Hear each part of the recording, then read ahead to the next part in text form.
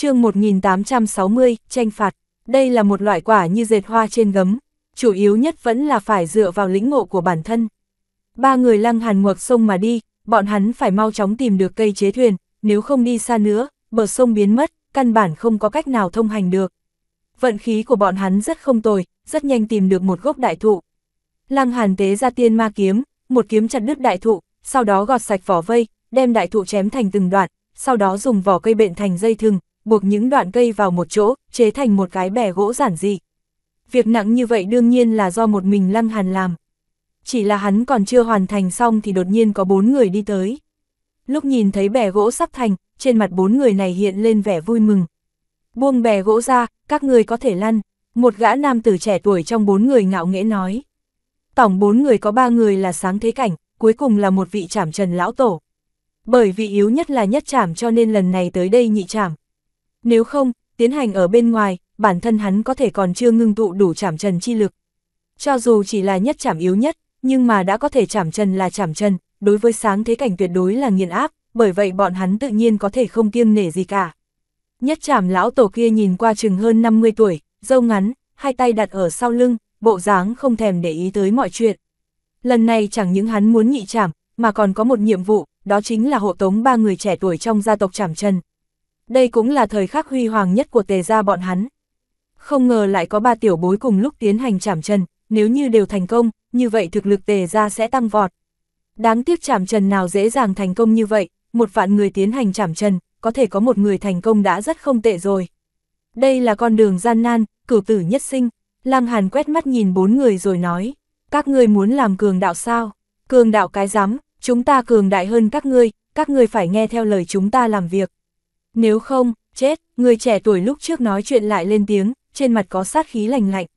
Nơi này chính là thiên địa bí cảnh, hoàn toàn ngăn cách với bên ngoài. Vô luận mang bí bảo nào đều không thể bắt được liên lạc với bên ngoài. Bởi vậy nếu không có ai tận mắt nhìn thấy, bọn hắn hoàn toàn có thể giết người diệt khẩu. Lăng Hàn lắc đầu, nhìn về phía nhị nữ nói, xem ra khó tránh khỏi phải chiến một trận, đánh thì đánh, đương nhiên nữ hoàng không sợ. Lăng Hàn thu thiên phượng thần nữ vào hắc tháp trước, sau đó nói. Nàng muốn lớn hay là nhỏ? Lớn, nữ hoàng chiến ý hừng hực, tốt, không chịu được thì bảo ta. Lăng Hàn cười nói, nhất trảm lão tổ, kỳ thực hắn không sợ. Dù không giết được thì cũng không có cách nào uy hiếp được tính mạng của hắn. Nữ hoàng xuất thủ trước, chém về phía nhất trảm lão tổ kia. Siêu siêu siêu, chín phân thân đều xuất hiện, là 10 nữ hoàng. Bất quá chín phân thân đều không có khăn che mặt, dung nhan vô song lập tức khiến cho con mắt bốn người này trợn lên. Muốn chết, quá mức muốn chết, trên đời này sao lại có nữ nhân xinh đẹp như vậy chứ? Chỉ là, nữ hoàng vừa mới ra tay, nhất chảm lão tổ kia hơi rung động. Bởi vì nàng cường đại như vậy vượt xa cấp độ sáng thế cảnh. Tuy rằng còn có khoảng cách rất lớn với nhất chảm, nhưng mà đủ để xưng là bán bộ chảm chân. Tuyệt đỉnh thiên tài, ha ha, nhất chảm lão tổ này cười lớn, tiên nhân tuy rằng chặt đứt Trần Duyên, nhưng mà cũng không có nghĩa chảm luôn thất tình lục dục. Hắn vươn tay chộp về phía nữ hoàng, cho dù nữ hoàng là bán bộ chảm trần thì thế nào. Trước mặt chảm trần chính thức vẫn không chịu nổi một kích. Thế nhưng sự thực lại vượt quá dự đoán của hắn. Nữ hoàng rất dẻo dai, nhất chảm lão tổ kia không thể nào trấn áp nữ hoàng trong vòng vài chiêu. Bất quá mấy chiêu trấn áp không nổi thì lại thêm mấy chiêu nữa. Lăng Hàn cũng ra tay, đập về phía ba gã sáng thế cảnh kia. Muốn chết, ba tiểu bối tề ra đều hừ lạnh, liên tục ra tay đánh trả. Lăng Hàn đánh ra một quyền, phanh, một tiểu bối tề ra lập tức bị đánh bay. Trực tiếp hóa thành mưa máu, ngay cả một khối huyết nhục nguyên vẹn cũng khó có thể tìm được. Trong mắt hắn, bốn người này so với những tên cướp đường kia còn đáng hận hơn. Cho nên hắn hạ thủ lưu tình với đám cướp đường, chỉ cướp sạch lại bọn hắn. Nhưng bây giờ hắn lại ra tay vô tình, a hát, hai hậu bối trẻ tuổi tề ra đều phát ra tiếng gào thét, lại phẫn nộ và sợ hãi. Bởi vì chuyện này cũng có thể xảy ra với bọn ho. Làm sao lại mạnh như vậy được, nhất chảm lão tổ kia cũng quá sợ hãi, hai người trẻ tuổi này đều quá siêu phàm, người sau còn mạnh hơn người trước. Làm sao có thể, nếu như thực sự là cấp bậc phương giả, có lẽ hắn nên nghe nói mới đúng chứ. Các ngươi đáng chết, nhất chảm lão tổ dùng một trường bước lui nữ hoàng rồi quay đầu giết về phía lăng hàn. Nếu không ngăn cản, hai tiểu bối còn lại nhất định sẽ chết dưới tay đối phương. Lăng Hàn không thèm để ý, tiếp tục đánh tới hai tiểu bối kia. Phốc, thừa dịp nhất chảm lão tổ kia còn chưa giết tới, lại có một hậu bối tề ra bị Lăng Hàn đánh chết, chết tới mức không thể nào chết hơn được. a à, a nhất trảm lão tổ kia sắp phát điên, nhưng mà rốt cuộc cũng phi thân tới. Một trường chộp về phía tiểu bối cuối quyên kia, thu hắn vào trong không gian thần khí. Như vậy hắn sẽ không còn gì cố kỵ nữa. Hắn quay người, điên cuồng đánh về phía lăng hàn. Cho ngươi 100 chiêu, nếu như có thể đánh ta bị thương, coi như ngươi thắng. Lăng hàn cười nói, phanh phanh phanh, nhất trảm lão tổ này nén giận ra tay, lực công kích vô cùng cuồng bạo. Thế nhưng lúc đánh vào trên người lăng hàn lại khiến cho hắn có cảm giác đánh vào đống dây, không có một chút tổn thương thực chất nào.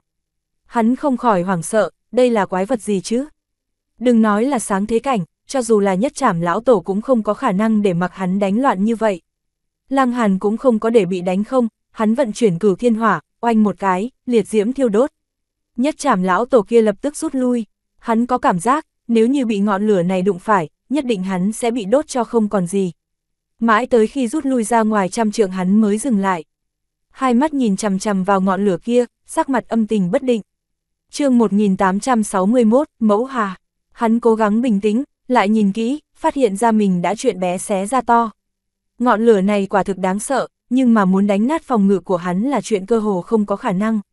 Thật kỳ quái, khiến cho hắn có cảm giác tim đập nhanh. Nhưng trên thực tế cũng không phải quá mạnh, đột nhiên trong lòng hắn khẽ động, dâng lên một suy nghĩ mà chính bản thân hắn cũng không thể nào tin được. Tổ hỏa, trong truyền thuyết, tiên vực có 9 loại tổ hỏa, chính là ngọn nguồn của hết thảy hỏa diễm, cũng có thể coi như là từ hỏa hệ quy tắc diễn hóa ra. Có người đã từng tiên đo na, nếu như có thể lấy được 9 đạo tổ hỏa là có thể trở thành người có hỏa hệ quy tắc mạnh nhất, áp đảo trên vạn vương. Chẳng lẽ đây là một đạo tổ hỏa trong đó? Nếu không mà nói, chỉ là một sáng thế cảnh, sao lại khiến cho hắn có cảm giác kiêng kỵ, chỉ cần dính vào là chết. Tiểu tử này vẫn may nghịch thiên tới đâu, không ngờ lại luyện hóa được một đạo tổ hỏa. Con mắt nhất chảm lão tổ này đỏ lên, chí bảo như vậy ngay cả tiên vương cũng không nhất định gặp phải, lại bị một tiểu tử sáng thế cảnh gặp phải. Hắn muốn đoạt lấy cơ duyên này. Ha ha ha, bổn tọa muốn. Nhất chảm lão tổ chộp về phía lăng hàn, trên hai tay quấn quanh đại đạo, như vậy đủ để đối kháng với cửu thiên hỏa. Lăng hàn thở dài, nhất chảm lão tổ tới nơi này nhất định lúc trước miễn cưỡng vượt qua kiểm tra. Đương nhiên, Bắc huyền minh là ngoại lệ, thế nhưng cho dù là như vậy, vương giả trong vương giả của sáng thế cảnh như hắn ở trong tay nhất trảm lão tổ cũng không có cách nào địch nổi. Tiên phàm khác biệt, tranh lệch thực sự là lớn hơn trời A. Khó trách nhiều người như vậy đều tràn ngập tin tưởng, cho rằng tranh lệch hiện tại cho dù lớn cũng không sợ. Chỉ cần rảo bước lên tới chảm chân, tương đương với việc có cùng xuất phát, khởi điểm. Ha ha, hôm nay dừng ở đây, lần sau gặp mặt ta sẽ chém cái đầu chó của ngươi. Lăng Hàn ném cái bè gỗ ra, dắt tay nữ hoàng mà đi, để cho nhất trảm lão tổ ở sau lưng gào thét. Không có biện pháp, trong nước sông có đại đạo trùng kích, có lẽ chỉ có tiên vương mới có thể qua sông. Phải nhanh chảm trần một chút, Lăng Hàn thận trọng nói.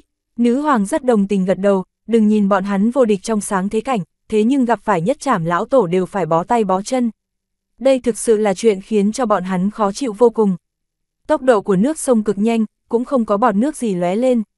Bình tĩnh tới đáng sợ, nếu như cẩn thận nhìn chằm chằm vào nước sông mà nói, có thể phát hiện ra ký hiệu đại đạo cuồn cuộn. Đáng tiếc nước sông này không thể uống, nếu không đối với võ giả tu luyện thủy hệ đại đạo mà nói, đây chính là trí bảo A. Trong nước không có sinh linh, chuyện này cũng rất bình thường. Muốn sinh sống trong nước như vậy, sinh vật này nhất định phải đạt tới cấp bậc tiên vương, như vậy cũng đủ để hù chết người A. Đi tới ngọn nguồn con sông này, tiểu tháp đột nhiên mở miệng, sau khi tiến vào tiên vực, tiểu tháp giống như tàng hình vậy, trên cơ bản không có trả lời lăng hàn. Theo như lời nó, linh khí tiên vực sung túc, đối với việc dưỡng thương của nó rất có ích, cho nên nó mới mặc kệ lăng hàn. Không ngờ bây giờ nó lại chủ động mở miệng, lăng hàn nói trong thức hải, một khi ngươi mở miệng nhất định không có chuyện gì tốt. Nói đi, có phải ngươi phát hiện ra ở chỗ này có thứ gì có tác dụng với việc khôi phục của ngươi hay không? Tiểu tháp hừ một tiếng, nói, ta hoài nghi nơi này có thiên địa mẫu thủy, vốn định thành toàn cho ngươi, thế nhưng ngươi đã nói như vậy, ta cũng lười xen miệng vào. Đợi một chút, đợi một chút, cái gì gọi là thiên địa mẫu thủy? Lăng Hàn vội vàng hỏi, đã có 9 đại tổ hỏa do thiên địa dưỡng dục vì sao lại không có mẫu thủy cùng cấp độ chứ? Tiểu tháp lạnh nhạt nói một câu, sau đó không nói nữa. Tổ hỏa, mẫu thủy, cùng cấp bậc, Lăng Hàn hít sâu một hơi rồi nói, ta cũng có thể luyện hóa nó, trở thành bổn nguyên chi lực của ta sao? Trên lý luận là như vậy, tiểu tháp nói, bất quá hiện tại ta không muốn giúp ngươi đạt được thiên địa mẫu thủy, chuyện này hoàn toàn không có khả năng. Dựa vào, tiểu tháp này quá kiêu ngạo, không phải chỉ đả kích nó một câu thôi sao. Lăng Hàn thở dài nói, không nên ồn ào, nói đứng đắn. Tiểu tháp hừ hừ vài tiếng mới nói, nhánh sông này rất có khả năng là do thiên địa mẫu thủy tạo thành. Nếu ngươi ngược dòng tìm hiểu, như vậy có lẽ có thể phát hiện ra sự tồn tại của thiên địa mẫu thủy. Ta thu như thế nào? Lăng Hàn hỏi, nước sông này căn bản không thể đụng vào, vừa đụng vào chỉ có đường chết. Không có ta chỉ điểm, người chết là cái chắc, có ta ở đây, như vậy tất cả sẽ nhẹ nhàng. Tiểu tháp ngạo nghễ nói, nhưng mà nó cũng không nói tiếp. Hiển nhiên nó còn đang nhớ thù A. Tiểu tháp, nghe lời, vừa rồi là ta lỡ lời A. Lăng Hàn đành phải đầu hàng, nếu đổi lại là địch nhân hắn còn có thể đánh nhau một hồi. Nhưng mà tiểu tháp kiêu ngạo này lại ở trong cơ thể hắn, hắn không có một chút biện pháp nào. Tiểu tháp lại ra vẻ một chút rồi mới nói, kỳ thực rất đơn giản, người luyện đã luyện hóa cửu thiên hỏa, chỉ cần dùng cửu thiên hảo bao phủ bản thân, là có thể bảo vệ bản thân không bị mẫu thủy hại. Có thể sao, Lăng Hàn hoài nghi, cửu thiên hỏa ngay cả chém chảm trần cũng không làm được, sao có thể đối kháng được với mẫu thủy chứ? Ngu xuẩn, cũng không phải bảo ngươi trực tiếp đối kháng với mẫu thủy, đây chẳng qua chỉ là một tia khí tức của mẫu thủy lan tràn ra mà thôi. Nếu như cửu thiên hỏa ngay cả chuyện nhỏ này mà cũng không thể đối kháng được, như vậy còn có tư cách gì được xưng là tổ hỏa nữa chứ? Tiểu tháp không cho là đúng, thế nhưng ta còn muốn đi chảm trần, nếu như đi trạch hướng. Lăng Hàn do dự, bỏ qua cơ hội chảm trần lúc này, như vậy hoặc là phải đợi ngàn vạn năm, hoặc là phải lần nữa đi tìm nơi chảm trần. Nhưng nếu như phải đợi ngàn vạn năm, hắn nhất định sẽ lựa chọn đột phá chảm trần trước rồi mới lại đi thu mẫu thủy. Ai, sao tao lại chọn chủ nhân ngu xuẩn như ngươi chứ? Tiểu tháp thở dài, rất là buồn bã. Cả bí cảnh hẳn đều là do mẫu thủy hình thành, nếu như ngươi có thể đạt được mẫu thủy, như vậy chẳng khác nào là tiến hành chảm trần ở nơi lực lượng thiên địa nồng đậm nhất. Như vậy còn chưa đủ sao? chương 1862, chảm trần giữa hồ. Lăng Hàn lập tức có cảm giác như chút được gánh nặng, quá tốt rồi, như vậy hai việc đều không chậm trễ. Cửu thiên hỏa đã thuộc loại vô cùng châu bò, nếu như hắn còn có thể thu thêm một đạo thiên địa mẫu thủy hóa thành bổn nguyên chi lực của bản thân mình. Như vậy thực lực hắn sẽ mạnh mẽ tới đâu chứ? Hắn đem chuyện này nói cho nữ hoàng và thiên phượng thần nữ. Nhị nữ đương nhiên đều đồng ý hắn đi thu mẫu thủy trước. Dù sao nữ hoàng có thể tiến vào hắc tháp, đến chỗ mẫu thủy lại đi ra, ở đó tiến hành chảm chân.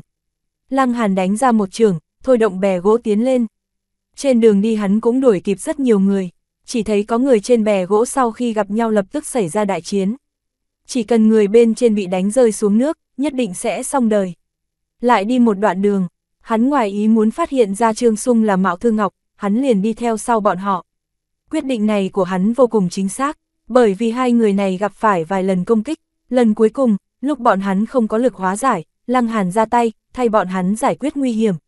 Mạo Thư Ngọc mắt tinh, nhận ra được Lăng Hàn, Trương Sung thì ngượng ngùng, nghĩ tới thái độ trước kia đối với Lăng Hàn. Bây giờ người ta lại giúp hắn, không quan tâm tới hiểm khích lúc trước, khiến cho hắn cảm thấy băn khoăn trong lòng. Lăng Hàn đi cùng với bọn hắn, hai ngày sau mọi người lên bờ. Từ nơi này có thể đi thông tới nơi chảm trần cuối cùng. Nhưng mà cũng là nơi nguy hiểm nhất trong chảm trần uyên, được xưng là tử vong quật. Ồ, sao các người lại không đi cùng chúng ta? Mạo Thư Ngọc kỳ quái hỏi một câu, đến nơi này, đã lên bờ thì có lẽ nên đi tử vong quật. Lăng Hàn lắc đầu nói, các người đi trước, chúng ta còn muốn đi một nơi khác trước. Đi một nơi khác, đến Trảm Trần Uyên không phải là vì Trảm Trần hay sao? Như vậy chỉ cần đi tới tận cùng Trảm Trần Uyên, tử vong quật, đi nơi khác làm gì chứ? Thế nhưng Lăng Hàn không nói, mặc dù Mạo Thư Ngọc vô cùng hiếu kỳ, nhưng mà hỏi cũng không được gì. Nàng đành phải mang theo một bụng khó hiểu đi theo Trương Sung. Ba người Lăng Hàn thì tiếp tục lên bè gỗ, ngược dòng đi tiếp. Đưa hai người Trương Sung tới đây, Lăng Hàn cho rằng mình đã không phụ lời nhờ vả của Mạo Đại, dù thế nào cũng không thể nào làm bảo mẫu cả hành trình cho hai người này. Ba người đi lên bè gỗ đã thấy Phó Hiểu Vân, Bắc Huyền Minh vừa vặn đi tới. Điều khiến cho bọn hắn kinh ngạc đó chính là hai người này cũng không có lên bờ, mà tiếp tục ngược dòng đi lên, giống như cũng đi về phía mẫu thủy vậy. Ánh mắt song phương gặp nhau, Phó Hiểu Vân không có biểu cảm gì, Bắc Huyền Minh thì nhếch miệng, ra vẻ trào phúng, nói. Chỉ là con sâu cái kiến cũng có tư cách đi song song với bản thánh thử sao? Ồ, ngươi biết ngọn nguồn dòng sông này là gì không? Lăng Hàn cố ý hỏi. Bắc Huyền Minh hừ lạnh một tiếng rồi nói. Bản thánh tử cần phải nói cho ngươi biết sao? Ngươi không hiểu là giả vờ hiểu. Lăng Hàn cười ha hả. Bắc Huyền Minh lập tức lộ ra sát ý, con sâu cái kiến nho nhỏ này không ngờ lại dám chào phúng hắn. Hắn muốn ra tay, lại bị Phó Hiểu Vân đè xuống, đành phải khố chịu thu tay lại. Phó Hiểu Vân nhìn Lăng Hàn nói, ta được một vị trưởng bối gia tộc chỉ điểm, muốn chảm trần khác loại chỉ có thể tiến về ngọn nguồn con sông này, chỗ đó thiên địa bí lực mới đủ để duy trì. Nàng dừng một cái, dường như đang nhìn vẻ mặt Lăng Hàn, thế nhưng Lăng Hàn sao có thể để lộ ra gì được chứ? Nàng lại nói tiếp, ngươi sao lại muốn đi tới tận cùng con sông này? Chảm trần khác loại chính là một đao chảm thiên địa, đối phương là truyền nhân thế lực tam tinh, biết rõ chảm một đao thiên địa cũng không có gì là kỳ quái. Nhưng mà khiến cho Lăng Hàn thầm kêu may mắn đó chính là hóa ra tới đầu nguồn con sông này là để một đao chảm thiên địa. Bên trong tử vong quật không có cách nào làm được, Mạo đại dù sao cũng chỉ suy đoán chảm Trần Uyên có thể khiến cho hắn chảm thiên địa, thế nhưng bản thân lại bị giới hạn cảnh giới và lịch duyệt, sao có thể so sánh với hảo phú tiên phủ được chứ? Cũng phải cảm ơn tiểu tháp một phen, nếu không có nó nhắc nhở, Lăng Hàn sẽ không chảm thiên địa thành công, còn bị cắn trả làm cho trọng thương, thậm chí là tử vong. Hoặc chỉ có thể đem một đao kia chảm lên người mình. Lăng Hàn cười cười, nói, xảo hợp, vừa vặn ta cũng muốn chảm trần khác loại. Ha ha ha, bằng vào ngươi cũng xứng sao. Bác huyền minh cười lớn, trong thế lực tam tinh lâu năm, chảm thiên địa để vào chảm trần cũng không phải là bí mật gì. Thế nhưng biết là một chuyện, có thể làm được hay không lại là một chuyện khác. Bác huyền minh đã từng muốn một đao chảm thiên địa, nhưng cuối cùng không có cách nào làm được, một đao kia vẫn phải chém vào trên trần duyên của mình. Hiện tại, một tiểu tử không biết xuất hiện từ đâu lại nói muốn chảm trần khác loại, quả thực là nực cười. Xứng hay không phải thử qua mới biết được, Lăng Hàn không kiêu ngạo không xiểm nịnh nói, Bắc Huyền Minh lại muốn nổi bão, chỉ là một sáng thế cảnh không ngờ lại dám nói vậy với hắn. Phó Hiểu Vân lại cười cười, nói, vậy thì cùng đi, nàng rất là ngạc nhiên về Lăng Hàn, bởi vì nàng hoàn toàn không nhìn thấu Lăng Hàn. Phải biết rằng nàng tu luyện một môn tiên thuật, cũng không có lực sát thương gì, nhưng mà có thể khám phá hư thực của người khác. Thế nhưng nàng không nhìn thấu Lăng Hàn, chuyện này chỉ có một nguyên nhân, thực lực đối phương còn hơn xa nàng. Điều này có thể sao? Nàng cũng không tin, mình đã là vương giả trong sáng thế cảnh, làm sao lại có người mạnh hơn nàng chứ? Có lẽ Lăng Hàn tu luyện công pháp bí thuật nào đó, có thể che đậy khỏi mắt nàng. Chuyện này khiến cho nàng hiếu kỳ, rốt cuộc là môn bí thuật nào? Lăng Hàn cười nhạt một tiếng, nói, được rồi, ta thấy vị này không vừa mắt ta, ta nhìn vị này cũng không vừa mắt, vẫn không nên cùng đi thì hơn. Lăng Hàn chỉ vào Bắc Huyền Minh rồi nói, Bắc Huyền Minh thiếu chút nữa tức điên lên, hắn là nhất trảm lão tổ, chỉ có hắn đủ tư cách không vừa mắt với Lăng Hàn, tiểu tử này lại coi hắn ngang hàng sao. Phó Hiểu Vân thì cười cười, nàng cảm thấy Lăng Hàn vô cùng thú vị. Nàng gật đầu nói, được, vậy thì hy vọng ngươi có thể chảm trần thành công. Đa tạ, đa tạ, Lăng Hàn ôm quyền, hiện tại hắn cũng cảm thấy Phó Hiểu Vân này lấy Bắc Huyền Minh quả thực quá đáng tiếc. Rõ ràng là một đóa hoa lan lại cắm lên trên bãi phân châu. chương 1863, trùng kích chảm trần thượng. Bác huyền minh lạnh lùng nhìn Lăng Hàn, sát cơ ngập tràn, trong lòng đang thầm nghĩ, nhất định phải tìm cơ hội tiêu diệt Lăng Hàn. Hai bè gỗ không ngừng tiến lên, ngược dòng mà lên. Đi suốt ba ngày, phía trước rốt cuộc cũng xuất hiện ngọn nguồn con sông, nước sông vô tận từ trong một hồ lớn tuôn ra. Mà trong hồ lớn có một khối nham thạch cực lớn, tạo thành hòn đảo giữa hồ. Bọn hắn đi tới bước này thực sự không dễ dàng, một đường có rất nhiều vòng xoáy. Một khi động vào sẽ khiến cho bọn hắn thuyền hủy người vong. May mà phản ứng của bọn hắn nhanh nhẹn vô cùng, nếu không coi như là tứ trảm lão tổ không cẩn thận cũng sẽ xong đời. Ở chỗ này, thiên địa bí lực cuồn cuộn, rồi rào vô cùng. Phó Hiểu Vân và Bắc Huyền Minh đem bè gỗ đẩy tới nham thạch giữa hồ. Hai người đạp lên trước, sau đó mới đem bè gỗ thu vào trong linh khí không gian. Bọn hắn muốn chảm trần ở đây, trùng kích tiên cảnh. Một người khác thì muốn trở thành nhị trảm. Ba người lăng hàn cũng lên hòn đảo giữa hồ, cũng thu hồ bè gỗ. Tiểu tháp thì ở trong thức hải nói chuyện với Lăng Hàn, bảo hắn thiên địa mẫu thủy có lẽ ở dưới đáy hồ. Hiện tại đi xuống nước sao? Lăng Hàn lắc đầu, nếu như một mình hắn xuống nước, hắn không yên lòng về hai người nữ hoàng, nếu như để cho các nàng tiến vào hắc tháp, nữ hoàng không có cách nào chạm trần. Ai biết chạm trần cần bao lâu chứ, sao có thể lãng phí thời gian đây? Lại nói, hắn cũng muốn chạm trần, hắn ngẫm lại, quyết định cùng với nữ hoàng chạm trần trước. Sau khi chạm trần, hắn lại đi tìm thiên địa mẫu thủy. Có thể kiếm được hay không cũng không sao, dù sao cũng là may mắn. Không thể đạt được thì để sau khi trở thành tiên vương lại tới. Nếu như bỏ qua cơ hội chảm trần lần này, hắn sẽ phải đợi một ngàn vạn năm, quả thực quá rằng rạc. Hắn nói với nữ hoàng, hai người ngồi xuống trên hòn đảo giữa hồ, bắt đầu trùng kích chảm trần. Tuy rằng hai người cũng đạt tới sáng thế cảnh đỉnh phong, nhưng mà chảm trần lại khác biệt, tất cả kinh nghiệm trước kia đều không giúp được gì cả. Duy chỉ có cảm nhận thiên địa bí lực ở đây, sau đó thử điều khiển, chảm một đao của mình. Bởi vì không có kinh nghiệm cho nên chuyện này vô cùng nguy hiểm, một khi không cẩn thận sẽ chảm chết chính mình. Mà chảm Trần Uyên chính là nơi tốt nhất để chảm Trần. Chỗ này thiên địa bí lực cũng cực kỳ cường đại, uy lực chém xuống vô cùng kinh người. Năm người lăng hàn đều đang cố gắng tích lũy, thích ứng với bí lực. Bắc huyền minh bởi vì đã từng chảm Trần qua một lần cho nên vô cùng thành thạo. Mặt khác, thiên phượng thần nữ thì đang làm quen với bí lực, nàng luôn chờ ngày chảm Trần này. Cỗ bí lực này lạnh lùng, vô tình, đại biểu cho thượng thiên đối xử như nhau. Mặc kệ giàu nghèo mạnh yếu, giá cả thế nào, trong mắt trời xanh đều là giống nhau. Dùng cái đao vô tình chém đứt Trần Duyên mà mình quý trọng, như vậy mới có thể bước vào chảm Trần.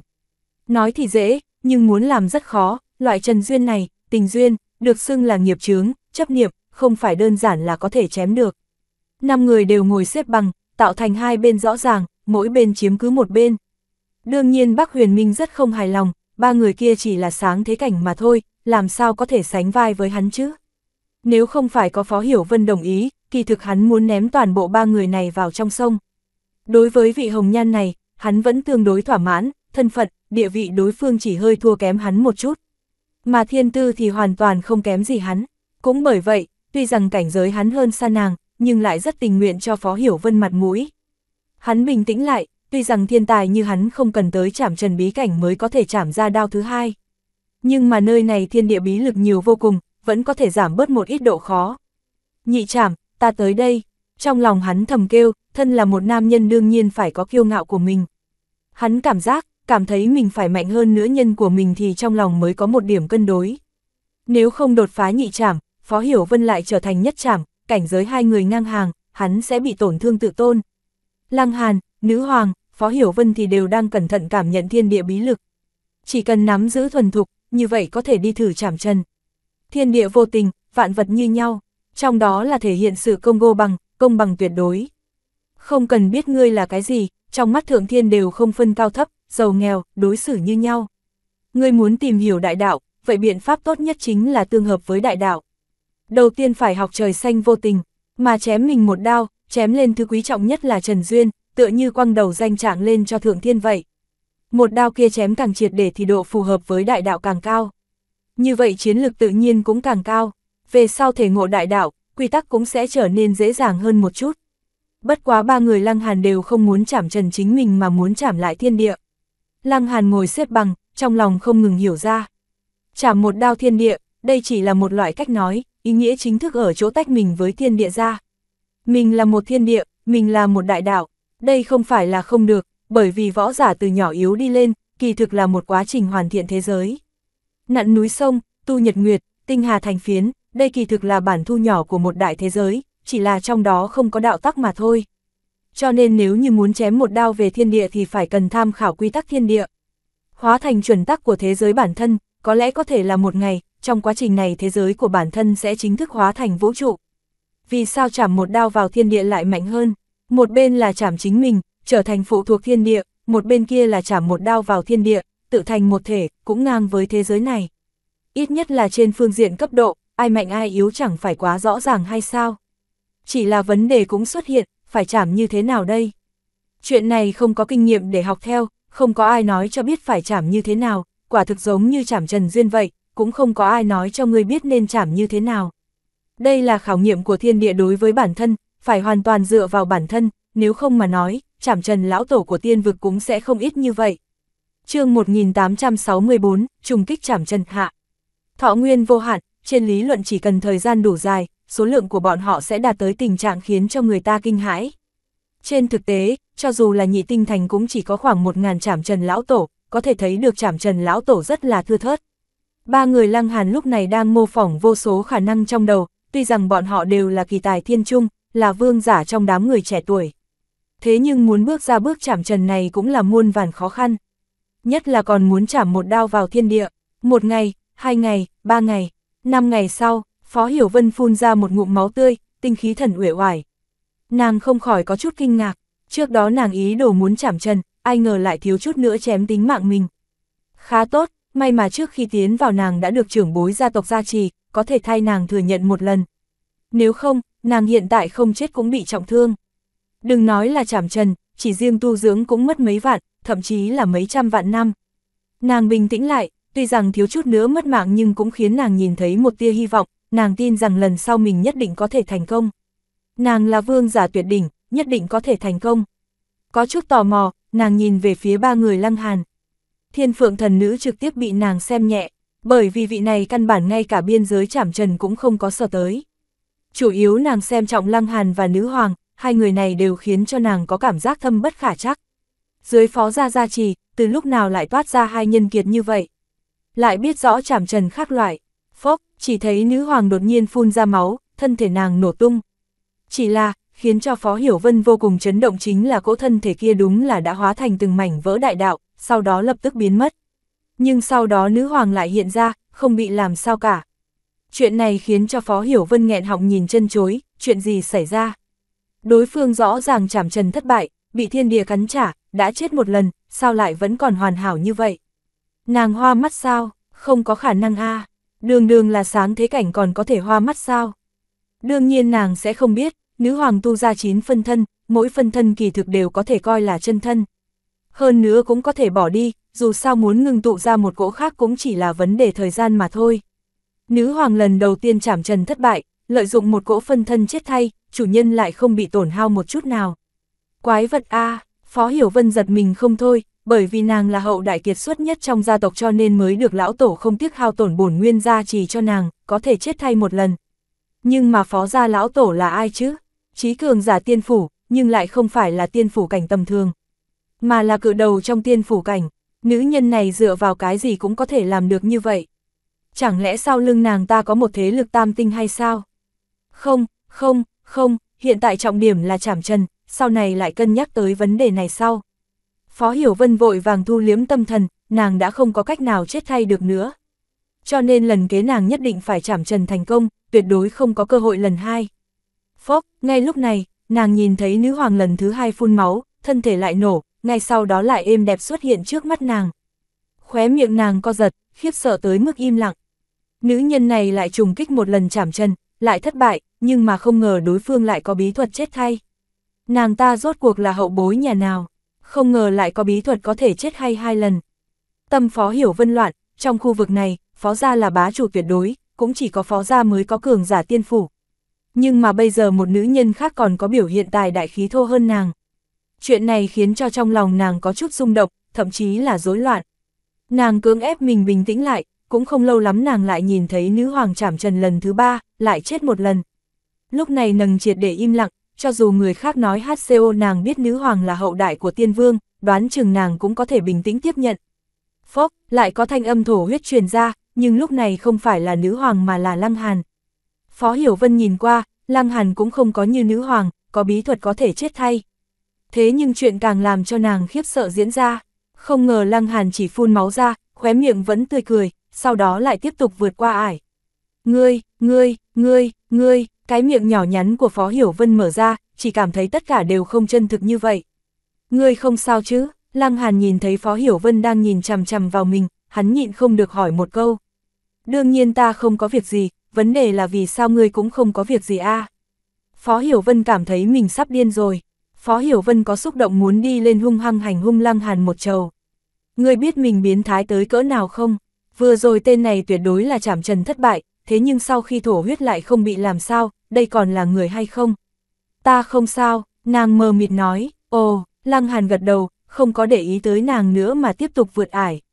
Quả thực hắn thất bại một lần, bị thiên địa chảm lại một đao, đao vừa rồi chảm quá mạnh mẽ, nhưng mà không ngờ lại chỉ khiến cho hắn bị thương nhẹ mà thôi.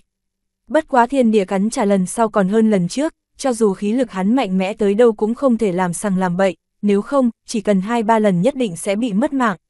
Nhưng mà có kinh nghiệm thất bại lần này, hắn đã nhìn thấy hy vọng chảm trần. So với hắn, nữ hoàng vẫn thuộc hàng châu bò, có 9 phân thân có thể chết thay, vậy có thể bảo đảm thất bại 9 lần A. Bầu không khí lần nữa khôi phục bình tĩnh, mỗi người đều đang trùng kích cửa ải, hết sức chăm chú, không rảnh phân thân. Lại năm ngày sau, chỉ nghe bác huyền minh thét dài một tiếng, cả người bắn lên, khí thế của hắn tăng trưởng như bão tố. Trong mắt bắn ra hai đạo thần mang, quy tắc quấn quanh, tràn ngập khí tức thần thánh. Hắn nở nụ cười thỏa mãn, bởi vì lầm chảm thứ hai này lại là chảm trần hoàn mỹ. Nói cách khác, trong tầng thứ nhị chảm này hắn vẫn có thể giữ vững vô địch.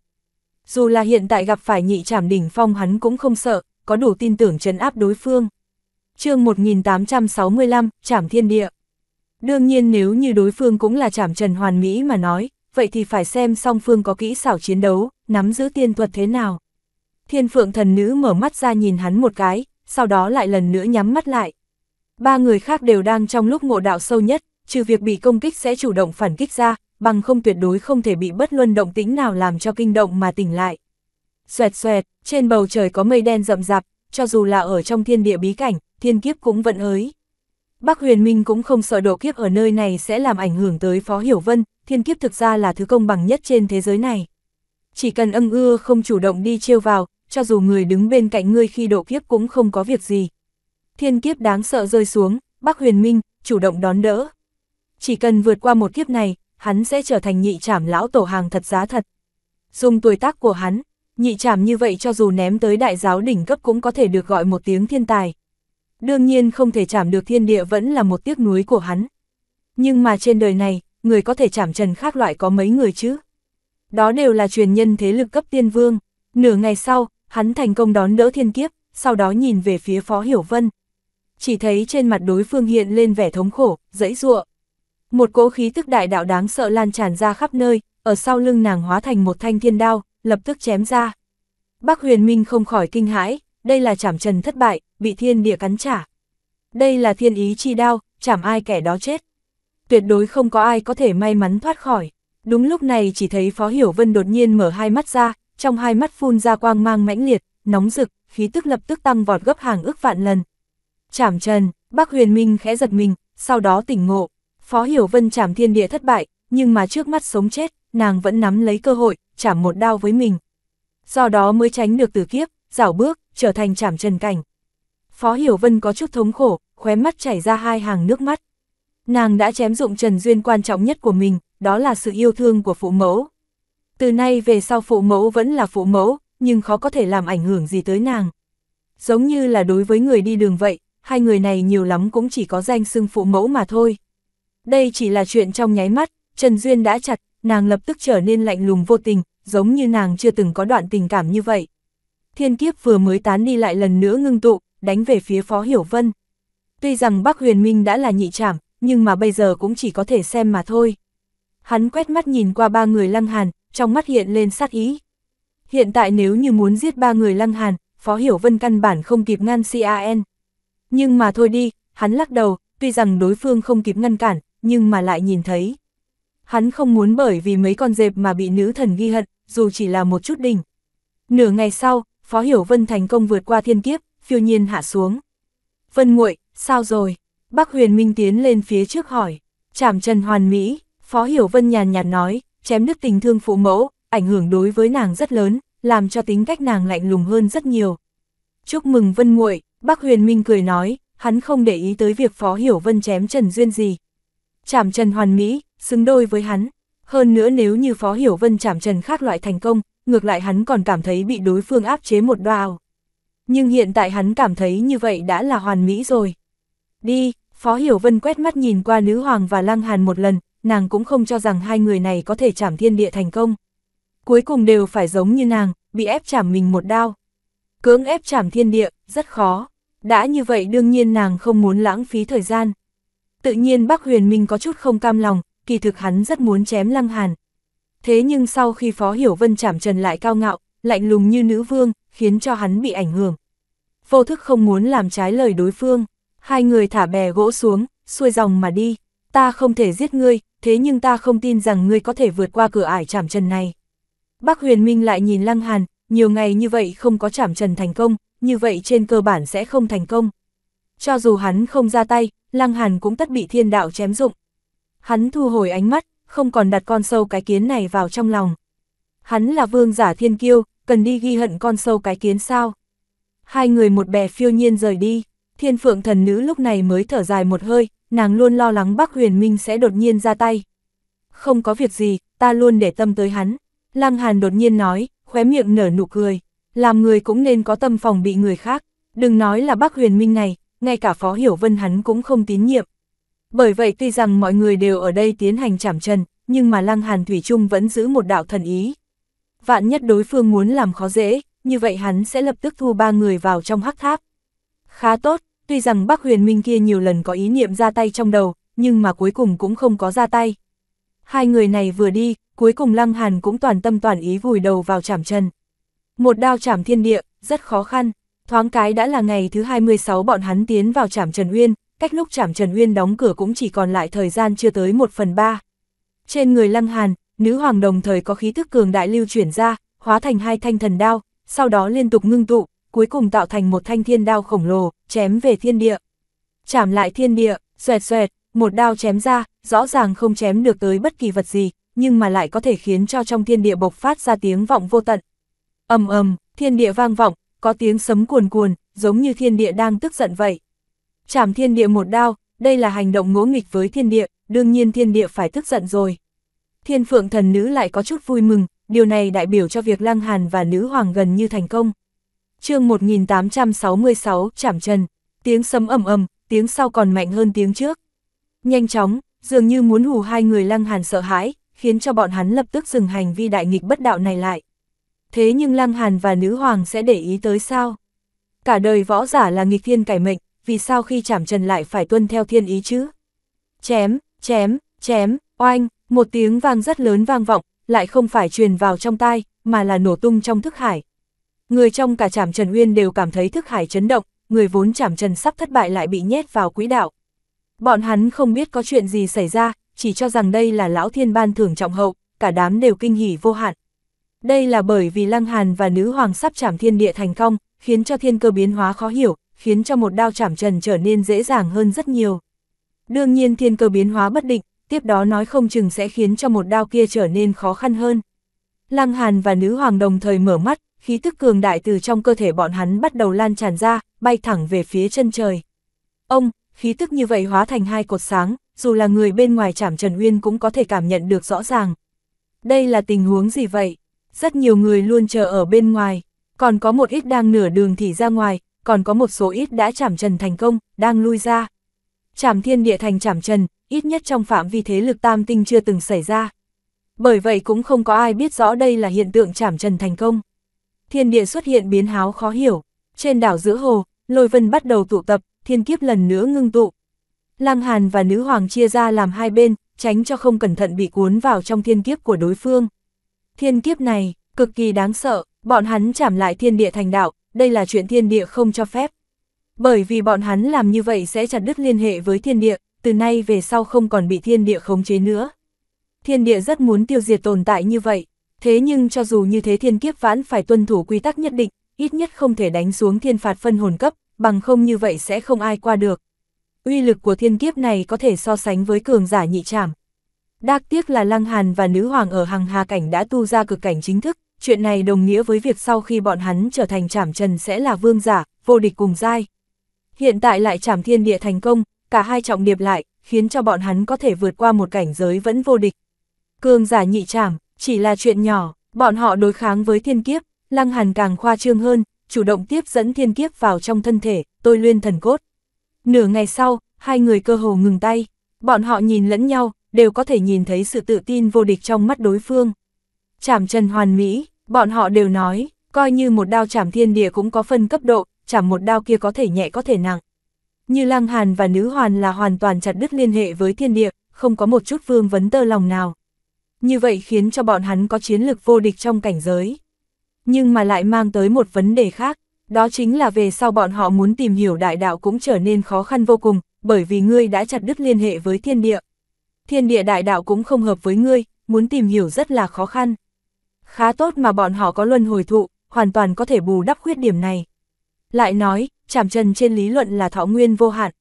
Nên đi thu đạo mẫu thủy kia trước, Lăng Hàn cười nói, sau khi tới chảm trần rồi lại xuống nước, kỳ thực nắm chắc càng lớn hơn. Uy lực của cửu thiên hỏa hiện tại hoàn toàn liên quan tới cảnh giới hắn, hắn càng mạnh thì cửu thiên hỏa cũng càng mạnh, đây là bổn nguyên chi hỏa của hắn A. Thiếp chờ chàng, nữ hoàng ôn nhu nói, nàng chỉ vĩnh viễn ôn nhu với một người mà thôi. Lăng Hàn không khỏi động tâm gật đầu nói, các nàng ở chỗ này chờ, chắc có lẽ không mất bao nhiêu thời gian đâu. Có thể thu hắn sẽ lấy đi, thế nhưng nếu không thể thu hắn cũng sẽ không miễn cưỡng. Về sau còn có thể tới thu tiếp, nhị nữ đều gật đầu, bởi vì bọn họ biết rõ Lăng Hàn có hắc tháp, các nàng cũng không cần phải lo lắng quá. Lăng Hàn vận chuyển cửu thiên hỏa, oanh, hỏa diễm màu trắng hừng hực hiển hiện quanh thân hắn, có thể nhìn thấy rõ ràng từng đạo ký hiệu đại đạo không ngừng nhảy nhót. Hỏa diễm tản ra uy năng khiến cho ngay cả tim cường giả phân hồn cảnh cũng phải đập nhanh hơn. Hiện tại cửu thiên hỏa cũng tiến lên tiên cấp, mà từ tiên cấp, uy lực của nó rốt cuộc mới được hiển hiện. Lăng Hàn dùng cửu thiên hỏa bao phủ bản thân, mạnh mẽ nhảy vào trong hồ nước. Một màn này nếu như để cho người khác nhìn thấy, nhất định sẽ kinh hô, gọi hắn là tên điên. Đây không phải là hành động muốn chết sao, thế nhưng sau một khắc nhất định bọn hắn sẽ kinh ngạc tới ngây người. Bởi vì dưới cửu thiên hỏa bao phủ, hồ nước không ngờ lại không thể xâm nhập tới thân thể lăng hàn. Cửu thiên hỏa đối kháng với uy của mẫu thủy, đây không phải là đối kháng cảnh giới, mà là giao phong cấp độ. Một là tổ hỏa, một là mẫu thủy, đều là đồ vật bổn nguyên nhất của tiên vực. Trên phương diện cấp độ không phân cao thấp, ngũ hành tương khắc đặt ở đây cũng vô dụng. Tại tầng thứ như bổn nguyên, mỗi một đạo quy tắc kỳ thực đều ngang bằng, giống như là quy tắc thời gian trước tiên vương cao cao tại thượng. Nhưng mà chính thức đạt tới cấp độ tiên vương, kỳ thực cũng không mạnh hơn quy tắc mộc hệ, hỏa hệ. Cho nên cửu thiên hỏa là sống mái với mẫu thủy chứ không phải là khác. Lăng Hàn xâm nhập tới đáy hồ, nhưng mà hồ nước này lớn tới đáng sợ. Hắn lặn suốt hai ngày hai đêm cũng không đi tới tận đáy được. Nhìn xuống vẫn là một mảnh đen kịt, giống như không biết trước được thứ xuất hiện trước mắt tiếp đó sẽ là gì. Lăng Hàn tính toán thời gian, tối đa hắn cũng chỉ lặn được 8 ngày là phải trở về. Nếu không hắn và hai người nữ hoàng không có khả nóc trong vòng kỳ hạn 3 tháng rời khỏi trảm Trần Uyên. Đến lúc đó lực lượng thiên địa cuồng bạo bộc phát, dù là tiên vương cũng phải nhíu mày. Bọn hắn chỉ có thể ở trong hắc tháp vượt qua ngàn vạn năm mà thôi. Như vậy sao được chứ? 3 ngày, 4 ngày, 5 ngày, chương 1867, lại hiện tiên vương. Khi tới ngày thứ 6, Lăng Hàn rốt cuộc cũng đi tới đáy. Dưới sự chỉ dẫn của tiểu tháp, hắn phát hiện ra một huyệt động ở dưới đáy hồ. Sau khi tiến vào, mực nước rõ ràng đang chậm rãi hạ thấp, cuối cùng là tạo thành một con suối, hắn có thể đi ở bên cạnh. Dù không có cửu thiên hảo hộ thân cũng không cần lo lắng bị nước ăn mòn. Lại hôn nửa ngày sau, phía trước xuất hiện một cái ao nhỏ, trong ao có một vũng nước, nhưng lại giống như con sứa, đang nhẹ nhàng nhúc nhích. Mà bên cạnh ao, không ngờ lại có người nằm sấp, dòng suối này chính là khí tức từ trong cơ thể hắn tràn ra. Lăng Hàn không khỏi khiếp sợ, khí tức của một người không ngờ lại hóa thành dòng sông, khiến cho ngay cả tiên vương cũng phải nhíu mày. Người này mạnh tới bao nhiêu chứ? Ồ, không ngờ ta lại đoán sai. Tiểu tháp mở miệng, đó là một tiên vương, hiển nhiên tới đây là vì thu mẫu thủy, nhưng mà cũng không có thành công, ngược lại còn chết ở đây. Khí tức hoa sô thành quy tắc chi hà, trừ tiên vương ra, chỉ có nhân tài nắm giữ bổn nguyên chi lực mới có thể tới đây. Lăng Hàn gật đầu, sau đó sắc mặt tối sầm lại, thiếu chút nữa nhảy dựng lên. Hóa ra người căn bản không biết, lại bảo ta nhảy vào trong hố lửa. Tên này nói cửu thiên hỏa có thể đối kháng với mẫu thủy, nhưng mà con mẹ nó, đây không phải là mẫu thủy, mà là đạo tắc của một vị tiên vương A. Ha ha, tiểu tháp cười cười, lăng hàn phát điên một hồi, cũng không thể nào tránh được. Tiểu tháp này ra vẻ lợn chết không sợ nước sôi, có thể làm gì nó được chứ? Đi xem tên tiên vương kia, tiểu tháp giật dây, theo lý mà nói, tiên vương cho dù không có thu mẫu thủy, nhưng cũng không có khả năng bị chết, đủ để toàn thân trở ra. Lăng Hàn cũng tò mò, hắn chậm rãi tới gần. Dưới cửu thiên hỏa có thể khiến cho hắn đối kháng với uy áp của tiên vương cấp, nếu không mà nói, hắn căn bản không có khả năng tới được đây, đã sớm bị nước sông ăn mòn tới chết. Tiên vương cảnh này là nam nhân, mặc một kiện trường bào màu vàng, có lẽ là dùng tài liệu thượng thường diệt thành, nếu không dưới khi tức vô tận của tiên vương cảnh ăn mòn đã sớm rách nát không chịu nổi. Hắn khác với người bình thường, trên trán mọc ra một cái mắt, như lại bị người ta mạnh mẽ đục một cái lỗ, mà đây cũng là một kích chí mạng, bắn thẳng tới thức hải, phá hủy thần hồn của hắn. Lăng Hàn không khỏi cảm khái, mạnh như tiên vương thì sao chứ? Vẫn gặp phải cường địch, vẫn không thoát khỏi vận mệnh vẫn lạc. Trên mặt đất có chữ viết, bên tay phải của tiên vương này có khắc mấy ký hiệu, khi Lăng Hàn nhìn sang, lập tức có một chuỗi ý niệm hiện lên trong thức hải của hắn, giảng giải một chuyện đứt quáng. Lăng Hàn không khỏi kinh hãi, chỉ là mấy ký hiệu mà thôi, không ngờ lại có thể truyền đạt nhiều thứ như vậy. Không hổ là tiên vương, thủ đoạn này quá kinh người. Vị tiên vương này khi còn sống được xưng là vạn thú tiên vương. Vạn thú tiên vương tu luyện đại đạo thủy hệ, tự nghĩ ra tiên vương pháp, có thể đem quy tắc thủy hệ hóa thành chiến thú. Trong lúc chiến đấu, chiến thú như vạn mã lao nhanh, mỗi một đầu đều có chiến lực cùng đẳng cấp với hắn. Bất quá, đáng sợ nhất vẫn là đầu chiến thú bổn mạng hắn dưỡng dục ra, chiến lực không những cùng dai với hắn, hơn nữa so với bản thể hắn chỉ kém hơn một chút đỉnh. Bằng vào một tiên vương pháp này, hắn ở trong nhị trọng tiên vương cảnh có thể nói là vô địch. Đáng tiếc hắn gặp phải một đối thủ cường gờ đại, tên là ngự hư tiên vương, bị đối phương mạnh mẽ chém dụng thần hồn.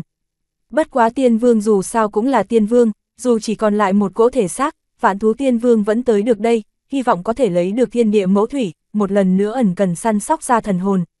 Hắn dùng quy tắc thủy hệ thành tiên vương, bởi vậy trên lý luận, chuyện này quả thực có một tia khả năng. Nhưng mà cuối cùng hắn vẫn thất bại, ngã xuống ở bước cuối cùng. Có thể trở thành tiên vương đều là thiên kiêu vô thượng, trổ hết tài năng trong năm tháng dài rằng giặc, mỗi một người đều là vương giả. Lăng Hàn thở dài nói, khó trách hắn không cam lòng như vậy, bất quá vì sao lại là ngự hư tiên vương. Lúc trước lão tổ tiên vương của thành gia bởi vì vấn đề lý niệm mà sau khi đai chiến biến mất không còn tung tích, mà thành gia bị một tiên vương khác huyết tẩy, là ngự hư tiên vương. Muốn nói tiên vực có hai gã tiên vương, phong hào đều là ngự hư, Lăng Hàn tuyệt đối không tin. Đây nhất định là cùng một tiên vương, tiên vương này quả thực quá mạnh mẽ, rốt cuộc hắn ra tiêu diệt bao nhiêu tiên vương. Chẳng lẽ là sát thủ tiên vương sao? Lăng Hàn thì thào tự nói, hắn tìm kiếm trí nhớ, vừa rồi vạn thúa tiên vương đưa tới rất nhiều trí nhớ cho hắn, nhưng mà rất vụn vặt, đủ loại tư liệu cũng không phải quá nguyên vẹn. Ngự hư tiên vương, phong tình điện, phong tình thiên tôn, Lăng Hàn vuốt cầm, tư liệu về ngự hư tiên vương vô cùng ít, chỉ là dường như có liên quan rất lớn với hai chữ phong tình. Hắn tới từ phong tình điện sao? Bất quá phong tình thiên tôn là cái quỷ gì vậy? Không nên kêu tên hắn. Tiểu tháp đột nhiên kêu lên, vẻ mặt kích động vô cùng. Làm gì vậy? Lăng Hàn cảm thấy khó hiểu. Vĩnh viễn không nên gọi tên thật của một vị thiên tôn. Nếu không sẽ dẫn động thần niệm của hắn. Dù tiên vực to lớn, nhưng mà thần niệm của hắn cũng có thể lập tức bao trùm, không chỗ nào không đạt tới.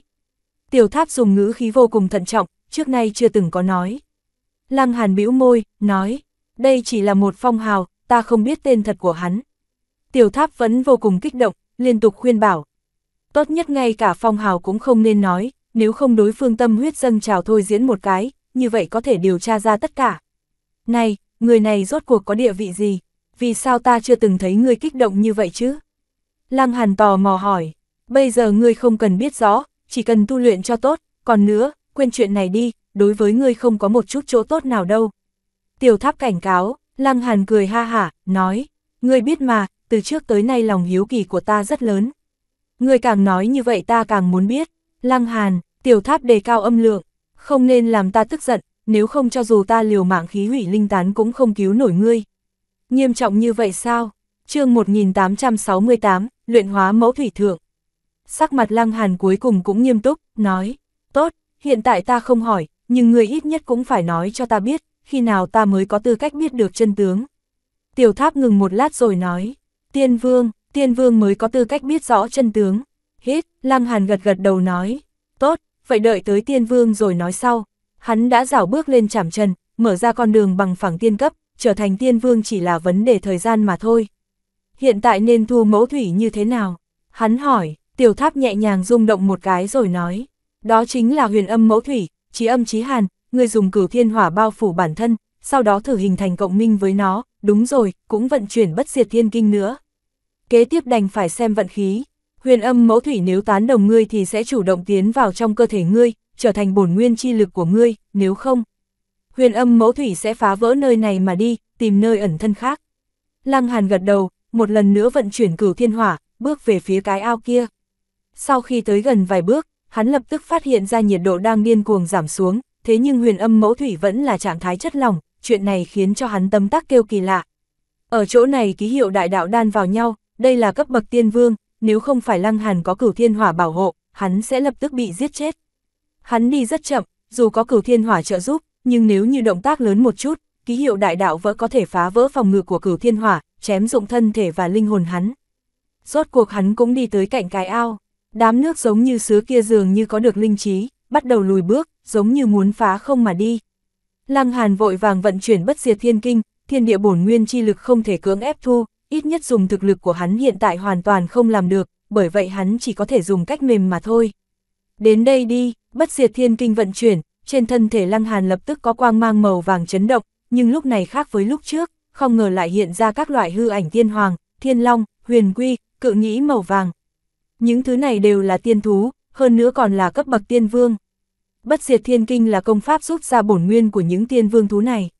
lại dung hợp lĩnh ngộ của một vị đại năng vô thượng mà thành. Huyền âm mẫu thủy lập tức an tĩnh lại, rõ ràng nó không có mắt, nhưng mà Lăng Hàn có thể cảm giác được, đối phương đang nhìn chằm chằm vào huyền quy. Đó là vạn hóa quy, thủy thuộc tính. Siêu, huyền âm mẫu thủy lóe lên, đi vào trong lòng bàn tay Lăng Hàn sau đó chui vào. Từ lòng bàn tay Lăng Hàn một đường hướng lên, qua cánh tay lại tới vai, lại đi xuống phía dưới, tới trái tim rồi tới đan điền. Mà trong quá trình này, thân thể Lăng Hàn hoàn toàn đóng băng. Huyền âm mẫu thủy là loại nước trí âm trí hàn trong thiên hạ. Tuy rằng nó bị Lăng Hàn hấp dẫn, hoặc là nói bị huyền quy trong bất diệt thiên kinh hấp dẫn, tiến vào trong cơ thể hắn. Nhưng tuyệt đối không dịu dàng ngoan ngoãn, một đường đi qua, hoàn toàn đóng băng Lăng Hàn. Khá tốt, may mà trong cơ thể Lăng Hàn có cửu thiên hỏa tồn tại, thứ này có thể đối kháng với huyền âm mẫu thủy, bảo vệ lấy sinh cơ của Lăng Hàn. Nếu huyền âm mẫu thủy không có ý giết hắn thì trong quá trình này cũng chém dụng mỗi một phần sinh cơ của hắn, như vậy Lăng Hàn quá oan uổng. Trong đan điền Lăng Hàn, hai đại bổn nguyên chi lực thiên địa đang đối kháng kịch liệt. Cửu thiên hỏa vốn độc bá đan điền Lăng Hàn, lúc này huyền âm mẫu thủy lại chặn ngang một cước, cũng muốn chiếm cứ một vị trí. Đương nhiên chuyện này sẽ khiến cho cả hai bắt đầu tranh đấu. Ngươi không phục ta, ta cũng không phục ngươi, bởi như vậy tự nhiên Lăng Hàn chịu tội, hai vị này đều là đại gia A, là tồn tại có thể so sánh với tiên vương. Nếu như thực sự nổi báo, tuyệt đối Lăng Hàn chỉ có thể bị miểu sát mà thôi. Hiện tại cả hai rằng co, một tia lực lượng tràn ra đều vô cùng đáng sợ, khiến cho thân thể Lăng Hàn sắp hỏng bét. Sau khi rảo bước lên chạm trần, khí lực của Lăng Hàn đương nhiên lại tăng thêm một tầng, tiếp cận đẳng cấp nhị tinh chuẩn tiên kim. Ở tiên vực chuẩn tiên kim tổng cộng có 10 tầng, nhị tinh chuẩn tiên kim kỳ thực tương đương với cấp độ tam trảm lão tổ. Cùng lý đo, tam tinh chuẩn tiêm kim tự nhiên cũng nhảy lên tới cấp bậc dương hồn. Nhưng mà khí lực như vậy trước hai đại bổn nguyên lại không chịu nổi một kích, lập tức giày vò khiến cho Lăng Hàn sắp sụp đổ. Hắn vội vàng tiến vào trong hắc tháp, muốn lợi dụng uy lực hắc tháp chân áp hai gia hỏa này. Ít nhất cũng có thể hơi chút hòa hoãn, không tới mức thống khổ như vậy. Ông, hắc tháp cũng bắt đầu phát ra lực lượng, bắt đầu chấn áp hai loại lực lượng bổn nguyên thiên địa. Cửu thiên hỏa thì còn tốt, vốn nó là một bộ phận trong cơ thể lăng hàn, dưới sự chấn áp của hắc tháp, chẳng những không phản kháng ngược lại còn giúp đỡ hắc tháp đi chấn áp huyền âm mẫu thủy. Thế nhưng huyền âm mẫu thủy chính là bổn nguyên thiên địa, há có thể hàng phục một cách đơn giản. Nó bắt đầu kịch liệt phản kháng, nó muốn độc bá đan điền lăng hàn. Đây là sự kiêu ngạo của bổn nguyên thiên địa, chẳng lẽ còn phải chia sẻ hang ổ cho người khác hay sao? Lăng hàn dùng toàn lực, bắt đầu luyện hóa huyền âm mẫu thủy. Chỉ có thể biến nó thành một bộ phận của thân thể mình mới có thể khiến cho nó không bài xích cửu thiên hỏa, ngược lại còn cộng hưởng, ở chung một ổ với cửu thiên hỏa. Nếu như hắn không có hấp tháp và cửu thiên hỏa trợ giúp, muốn chấn áp huyền âm mẫu thủy sẽ khó khăn vô cùng. Đây chính là trí bảo đẳng cấp tiên vương, không phải có thể bị hàng phục một cách đơn giản. Đây là một trận đánh rằng co, Lăng Hàn từng chút một luyện hóa huyền âm mẫu thủy, mà thân thể hắn thì không ngừng bị kết băng. Vốn là một khối băng, hiện tại lại trở thành một ngọn núi băng, bao bọc hắn vào trong cực kỳ chặt chẽ. Lăng Hàn cũng không lo lắng, hiện tại đang bắt đầu luyện hóa huyền âm mẫu thủy. Chỉ cần thành công, như vậy hắn có thể hòa tan tòa băng sơn này một cách đơn giản. Một ngày, hai ngày, ba ngày, thời gian không ngừng trôi qua, đến ngày thứ năm, Lăng Hàn mở hai mắt ra, trong đôi mắt tinh khiết, không pha tạp. Trên mặt băng sơn xuất hiện vô số vết nứt, sau đó ầm ầm nghiền nát. Thân thể Lăng Hàn run lên, từ trong mảnh vụn đi ra.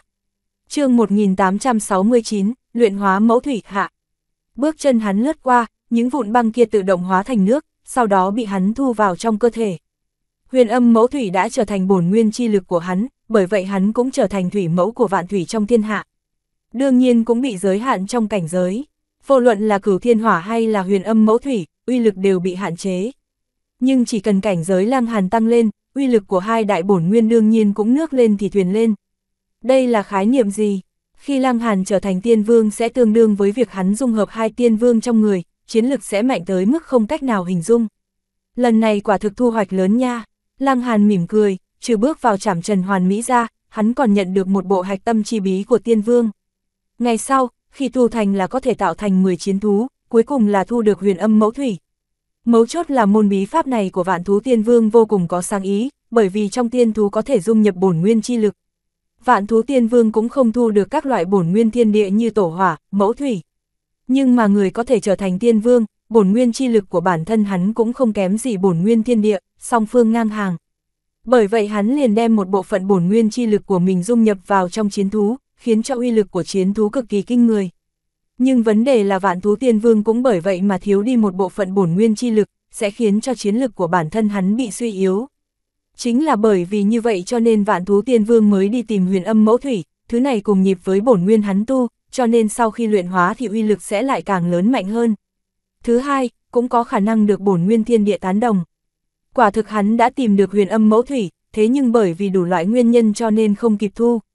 Mãi tới khi bị ngự hư tiên vương đuổi giết, hắn mang theo thân thể tàn phế đi tới đây thu huyền âm mẫu thủy, thế nhưng cuối cùng lại không có thành công. Nhưng mà Lăng Hàn lại không có vấn đề phương diện này, chỉ là hiện tại hắn có hai loại bổn nguyên thiên địa. Chuyện này đồng nghĩa với việc sau khi hắn học tiên thuật này, uy lực sẽ vượt xa vạn thú tiên vương. Nếu như sau này ta còn có thể thu được thêm bổn nguyên thiên địa, như vậy sẽ lợi hại tới trình độ thế nào chứ? S, Lăng Hàn không khỏi thì thào tự nói, nếu như có cơ hội, cố gắng trước khi bước lên tiên vương thu thập thêm bổn nguyên thiên địa. Tiểu tháp đột nhiên nói, có chủ ý gì sao? Lăng Hàn hỏi, đạt được càng nhiều bổn nguyên thiên địa, như vậy lúc người tiến vào tiên vương cảnh là có thể hấp thu thêm bổn nguyên chi lực. Chuyện này có trợ giúp rất lớn đối với việc tăng lên chiến lực của ngươi. Hơn nữa còn có cơ hội trùng kích tiên vương cửu trọng. Nếu không chỉ dựa vào bản thân tiến hành trùng kích, độ khó sẽ rất cao. Tiểu tháp nghiêm túc nói, thì ra là thế, Lăng Hàn gật đầu, hắn thận trọng ghi nhớ điều này trong lòng. Hiện tại là rời khỏi nơi này, tính toán thời gian cũng không còn nhiều lắm. Lúc rời đi, hắn cần dùng cửu thiên hỏa hoặc là huyền âm mẫu thủy để chống đỡ khí thức của tiên vương ăn mòn. Tám ngày sau, hắn phá nước mà ra, Lăng Hàn, thiên phượng thần nữ và nữ hoàng đều thở dài một hơi. Lăng Hàn biến mất 20 ngày, dù các nàng tràn ngập tin tưởng với Lăng Hàn thì vẫn không tránh khỏi có chút lo lắng. Lúc này sau khi nhìn thấy Lăng Hàn, rốt cuộc mới không còn lo lắng nữa. Lăng Hàn nhoẻn miệng cười nói, để cho các nàng lo lắng rồi, đi thôi. Mẫu thủy đâu? Nữ hoàng hỏi, Lăng Hàn vung tay lên, ông một cái, lập tức có kỳ hàn chi khí hàng lâm, khiến cho không khí bốn phía hoàn toàn đóng băng. Trong lĩnh vực này, Lăng Hàn hoàn toàn xứng đác là hàn băng chi vương. Thấy một màn như vậy, nữ hoàng và thiên phượng thần nữ đều kinh hỉ. Bọn hắn thả bè gỗ ra, bắt đầu trở về. Lần này Lăng Hàn gấp rút thúc giục bè gỗ, kỳ hạn 3 tháng đã tới gần, dòng sông trở nên cuồng bạo, chảy xiết, thi thoảng có bọt nước vé lên. Nếu như bị dính vào một chút, cam đoan ngay cả tiên vương cũng phải mất một đám lông. Bởi vì đây chính là đạo tắc của một vị tiên vương nhị trọng. Cũng không bởi vì đối phương đã chết mà giảm bớt uy lực. Khá tốt, hiện tại Lăng Hàn nắm giữ hai loại bổn nguyên chi lực thiên địa, đủ để đối kháng. Dù sao đây cũng là một vị tiên vương đã chết, đạo tắc cho dù cường đại nhưng cũng không phải là chiến lược chân thực. Vài ngày sau, bọn hắn rốt cuộc cũng ra khỏi trảm Trần Uyên. Lúc này người đã đi không sai biệt lắm, hiện tại người còn không ra trảm Trần Uyên, trên cơ bản cũng không còn khả năng xuất hiện nữa. Lăng Hàn, thanh âm tràn ngập sát ý truyền tới, chỉ thấy một lão giả mặt trắng gắt gao nhìn chằm chằm vào ba người. Đinh Hành, trảm trần lão tổ của Đinh Gia, nhị trảm. Từ khi Lăng Hàn biến mất, Đinh Gia luôn tìm kiếm tung tích của hắn. Chỉ là tiên vực quá lớn, Đinh Gia lại chỉ là thế lực nhất tinh. Cho dù ở Thương Nguyệt Thành cũng không thể một tay che trời, huống hồ lại còn đi ra khỏi Thương Nguyệt Thành. Bởi vậy bọn hắn cũng chỉ có thể suy đoán mấy nơi mà thôi. Ví dụ như Hắc Nguyệt Thành, ví dụ như là Trảm Trần Uyên, hay là một ít địa phương có thể Trảm Trần khác. Có lẽ Lăng Hàn muốn Trảm Trần cũng không dám đi Trảm Trần Uyên. Biết rõ Đinh Gia tìm kiếm hắn, cho nên sẽ đổi tới nơi khác. Đinh Gia cũng chỉ có tầm trục Trảm Trần Lão Tổ, hơn nữa cũng không thể dốc toàn bộ lực lượng, vạn nhất bị hai đại gia tộc khác thừa cơ cướp sạch thì xử lý thế nào đây? Nếu như có cơ hội, tin rằng hai nhà Long, đoạn cũng sẽ không khách khí. Đinh Diệu Long phải tỏa chân ở Đinh Gia, mà Đinh Sơn và Đinh Tùng thì đi Hắc Nguyệt Thành. Một người khác thì đi Hàn Gia, coi như Hàn Lộ hủy đi tổ miếu Đinh Gia, thế nhưng Đinh Gia vẫn phải đi giải thích, coi như triệt để chấm dứt đoạn hiểu lầm với Hàn Gia. Cao thủ quá ít, người đến chảm Trần Uyên chỉ có một mình Đinh Hành. Bởi vì Lăng Hàn muốn chảm Trần cũng chỉ có thể đi tới mấy nơi như vậy. Đinh Gia biết rõ Lăng Hàn yêu nghiệt, một khi đột phá chảm Trần mà nói, nhất định ngay cả nhất chảm lão tổ cũng không phải là đối thủ của hắn. Cho nên người chấn thủ nơi này là Đinh Hành, nhị chảm, nhị chảm đối với nhất chảm, hơn nữa còn là người vừa vặn mới đột phá, nếu như vậy mà vẫn không giải quyết được, như vậy còn thiên lý sao? chương 1870, quy tắc nghiền áp. Lăng Hàn nhìn Đinh Hành, tuy rằng hắn không biết tên của đối phương, nhưng cũng đã nhìn thấy vị này trong tổ miếu Đinh gia. Nghĩ tới tổ miếu Đinh gia, Lăng Hàn không khỏi hỏi một câu. Này, tổ miếu các ngươi đã tu sửa xong chưa vậy? Con mẹ nó, cho dù tu dưỡng của Đinh Hành có thượng thừa tới đâu, có thể tu luyện tới cấp bậc trảm trần, ai mà không trải qua vô số mưa gió, tuyệt đối là hỉ nộ ái ố không lộ ra. Thế nhưng Lăng Hàn vừa nói những lời này, Đinh Hành đã lập tức muốn giơ chân lên. Ngươi còn không biết xấu hổ hỏi sao, ác tử, nếu như không phải ngươi, tổ miếu đinh ra ta há có thể bị hủy đi. Hắn không khỏi giống to nói một câu, ngay cả con mắt cũng xanh. Đều một bó to tuổi rồi, còn không biết tu thân dưỡng tính. Giống to, la hét như vậy, làm các tiểu bằng hữu khác sợ thì sao? Lăng Hàn cười nói, hắn không ngại làm cho người đinh ra đã rét vì tuyết lại còn lạnh vì xương, sát muối vào miệng vết thương. Người nhà ngươi làm ác, còn làm linh vị cho những ác nhân kia làm gì vậy? Đúng là trên sao dưới vậy, chết, đinh hành vốn còn muốn bày tỏ cảm giác yêu Việt, khiến cho Lăng Hàn cảm nhận được áp lực tử vong. Cũng không ngờ mới nói hai câu đã bị Lăng Hàn làm cho tức giận muốn nổ tung. Hắn nhịn không được lập tức ra tay về phía Lăng Hàn. Lăng Hàn còn chưa có ra tay, nữ hoàng đã động thủ trước, nàng vừa mới đột phá chảm trần, đang kích động không thôi. Xoát, một đạo kiếm quang xẹt qua, kinh động cửu thiên. Đinh hành biến sắc, bàn tay lớn vươn ra lập tức thu lại, hắn có cảm giác, nếu như bị đạo yếm quang kia chém tới. Quy tắc thiên địa cắn trả, hắn sẽ bị thương, về phần sẽ bị thương bao nhiêu hắn cũng không rõ. Nhưng mà hắn không dám thử, vạn nhất chúng đại chiêu thì sao? Trong lòng hắn quả thực rung động, run sợ không thôi. Trừ mấy người trong thành ra, chưa bao giờ có người nào vừa ra tay đã khiến cho hắn sinh ra cảm giác chưa chiến đã bị thương, áp lực rất lớn như vậy. Nữ tử này hắn nhận ra, là người cùng lăng hàn một chỗ. Trước đó bất quá chỉ là sáng thế cảnh, nhưng bây giờ là chảm chân. Chuyện này đồng nghĩa với việc đối phương vừa mới chảm trần thành công, cũng đồng nghĩa đối phương chỉ là nhất chảm. Nhưng mà hắn là nhị chảm A, nữ hoàng không hạ thủ lưu tình, thân thể nàng phóng ra, hướng về phía đinh hành triển khai thế công vô tình, sát phạt. Đinh hành không có cách nào, chỉ có thể chống đỡ. Thế nhưng sau khi giao thủ, yêu khuyết mới lộ rõ. Đinh hành hắn rơi xuống thế hạ phong, chuyện này cũng không có gì là kỳ quái. Khi nữ hoàng còn ở hằng hà cảnh đã tu ra cực cảnh chân chính, chuyện này có ý nghĩa, chỉ cần nàng đột phá chảm trần là có thể vô địch cùng giai. Mà nàng lại là chảm thiên địa, lại chảm hoàn mỹ tiến vào chảm trần, khiến cho nàng lại vô địch thêm một giai nữa. Cả hai trọng điệp lại, khiến cho nàng có thể vượt qua một tiểu cảnh giới, vô địch. Nhị chảm có thể so sánh với nàng, hoặc là tu ra cực cảnh chính thức trong hằng hà cảnh, hoặc là cũng chảm thiên địa mà thành chảm trần. Hiện tại tuy rằng đinh hành cao hơn nàng một tiểu cảnh giới, nhưng mà hai điều kiện kia đều không đạt tới, căn bản không phải là cấp bắc vương giả, sao có thể đấu sức với vương trong vương như nữ hoàng được chứ? Đinh hành hoảng sợ biến sắc, nhưng mà căn bản không có cách nào xoay người, bị nữ hoàng liên tục đánh, vẻ mặt nghẹn khuất vô cùng. Tiên vực đẳng cấp xâm nghiêm, nhị trảm đấu với nhất trảm tuyệt đối là nghiền ép. Cho dù có vương giả xuất hiện, vượt qua một tiểu cảnh giới chiến đấu, tối đa cũng chỉ ngang tay với cường giả lâu năm mà thôi, không thể nào nghiền ép được. A hát hát hát, tại sao tất cả người ở cùng với Lăng Hàn đều là quái vật vậy?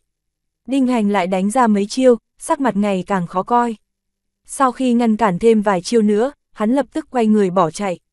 Không được, nếu như tiếp tục đánh nữa hắn sẽ bỏ mạng lại ở nơi này. Như vậy còn đánh cái giám A, lại nói, Lăng Hàn và nữ hoàng yêu nghiệt như vậy, nếu chờ bọn hắn tiến tới tam trảm, chẳng phải ngay cả Đinh Diệu Long cũng không thể trấn áp hay sao? Hắn phải đem tin tức này trở về bẩm báo, để cho Đinh Diệu Long, Đinh Sơn, Đinh Tùng, ba đại cường giả Đinh ra hắn tự mình xuất động. Hiện tại cũng chỉ có bọn họ mới có thể trấn áp hai yêu nghiệt này. Nếu không, để cho bọn chúng có thời gian trưởng thành, như vậy Đinh ra thực sự có khả năng xong đời. Đi vội vã như vậy làm gì? Ta còn chưa tận hứng nha. Lăng Hàn ngăn cản, hắn tu ra lôi đình bí pháp, tốc độ cực nhanh, cả người hóa thành một đạo sấm sét, ngay cả nhị trảm lão tổ cũng có thể chặn đứng. Muốn chết, Đinh Hành bắt đầu chạy chối chết, nhưng mà cái giá nhị trảm lão tổ vẫn còn rất cao, hắn lạnh lùng quát một tiếng, giơ tay chụp về phía Lăng Hàn. Hắn tu quy tắc thủy hệ, một kích này cũng vận dụng bí pháp.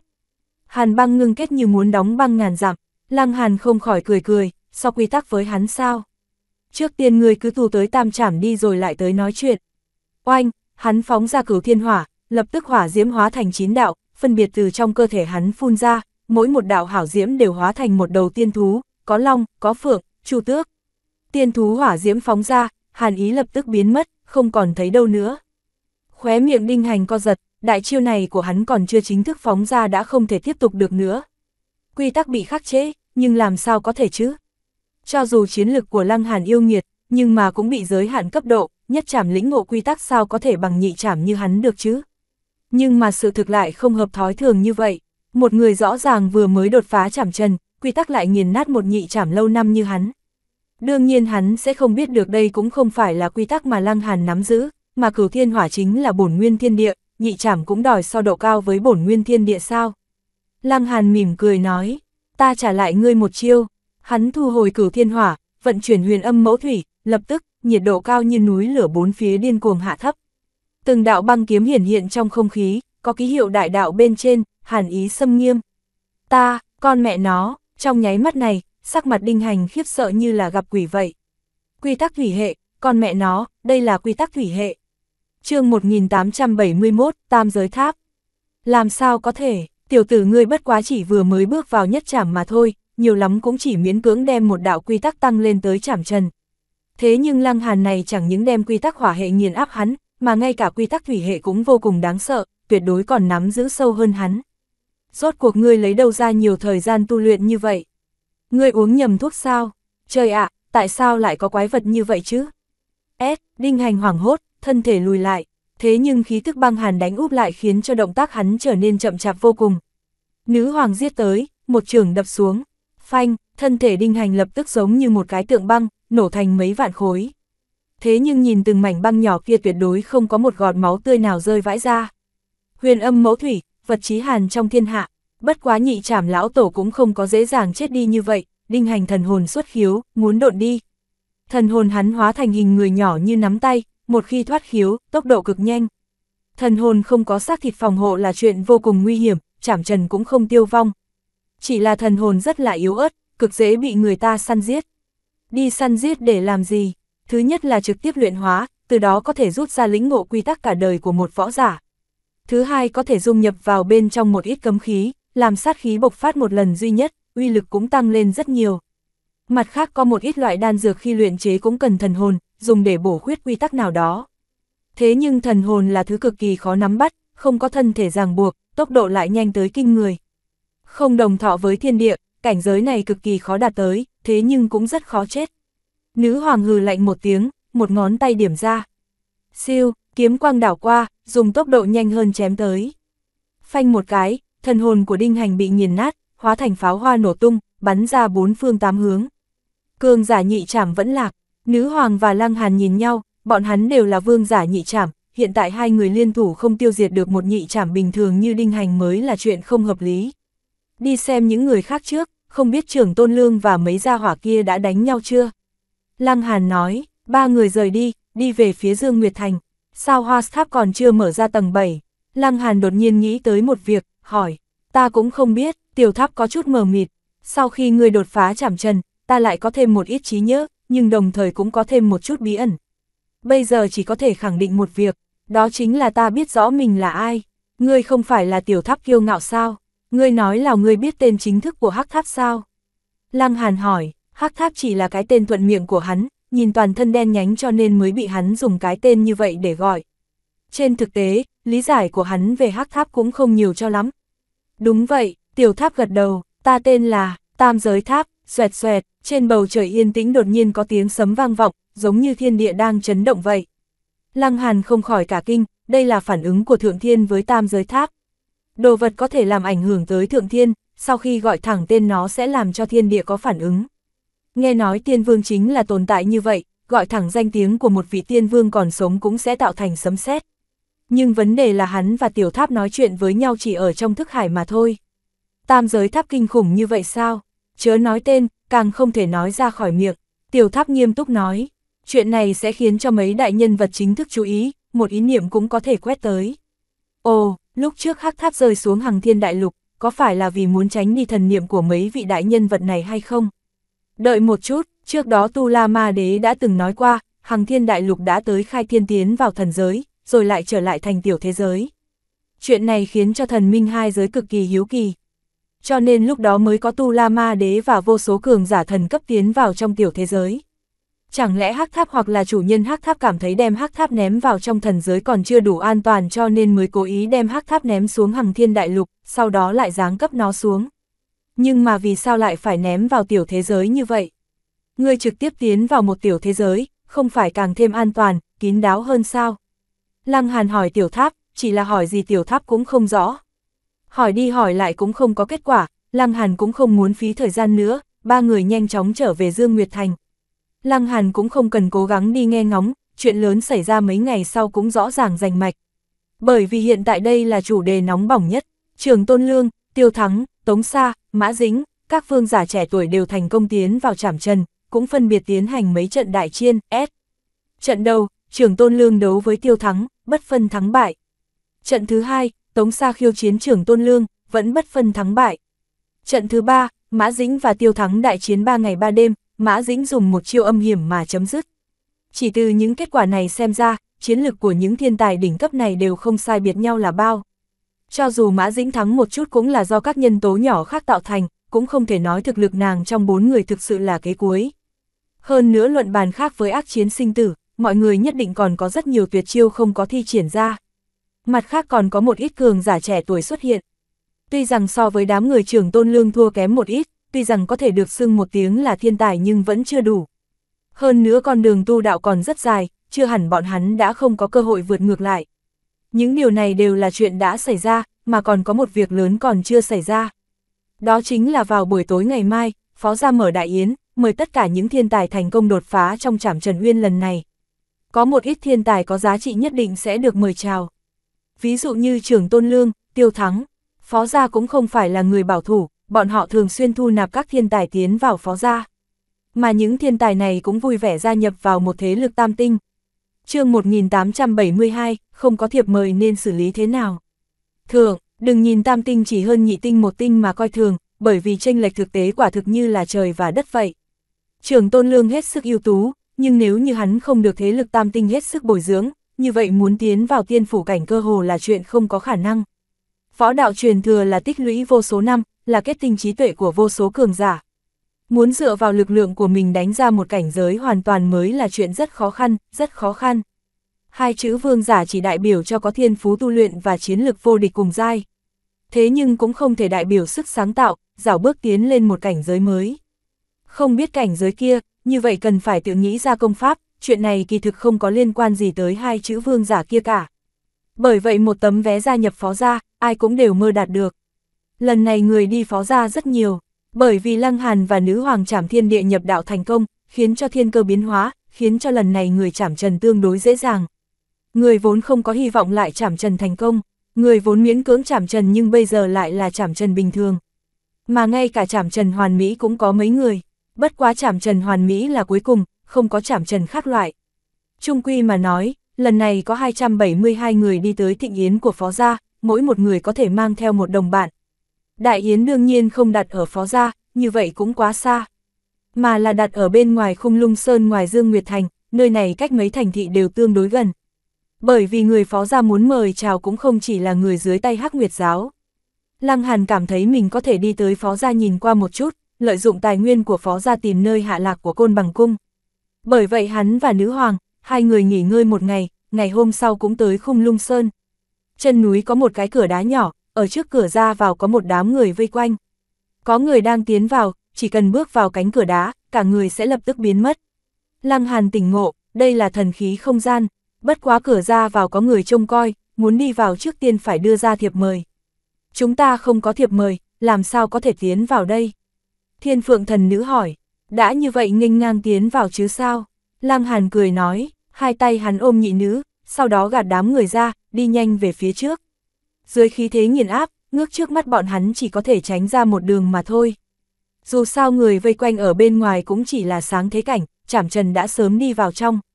Đương nhiên, coi như là chảm trần, người bây giờ có thể đối kháng với khí thế của Lăng Hàn cũng không có mấy.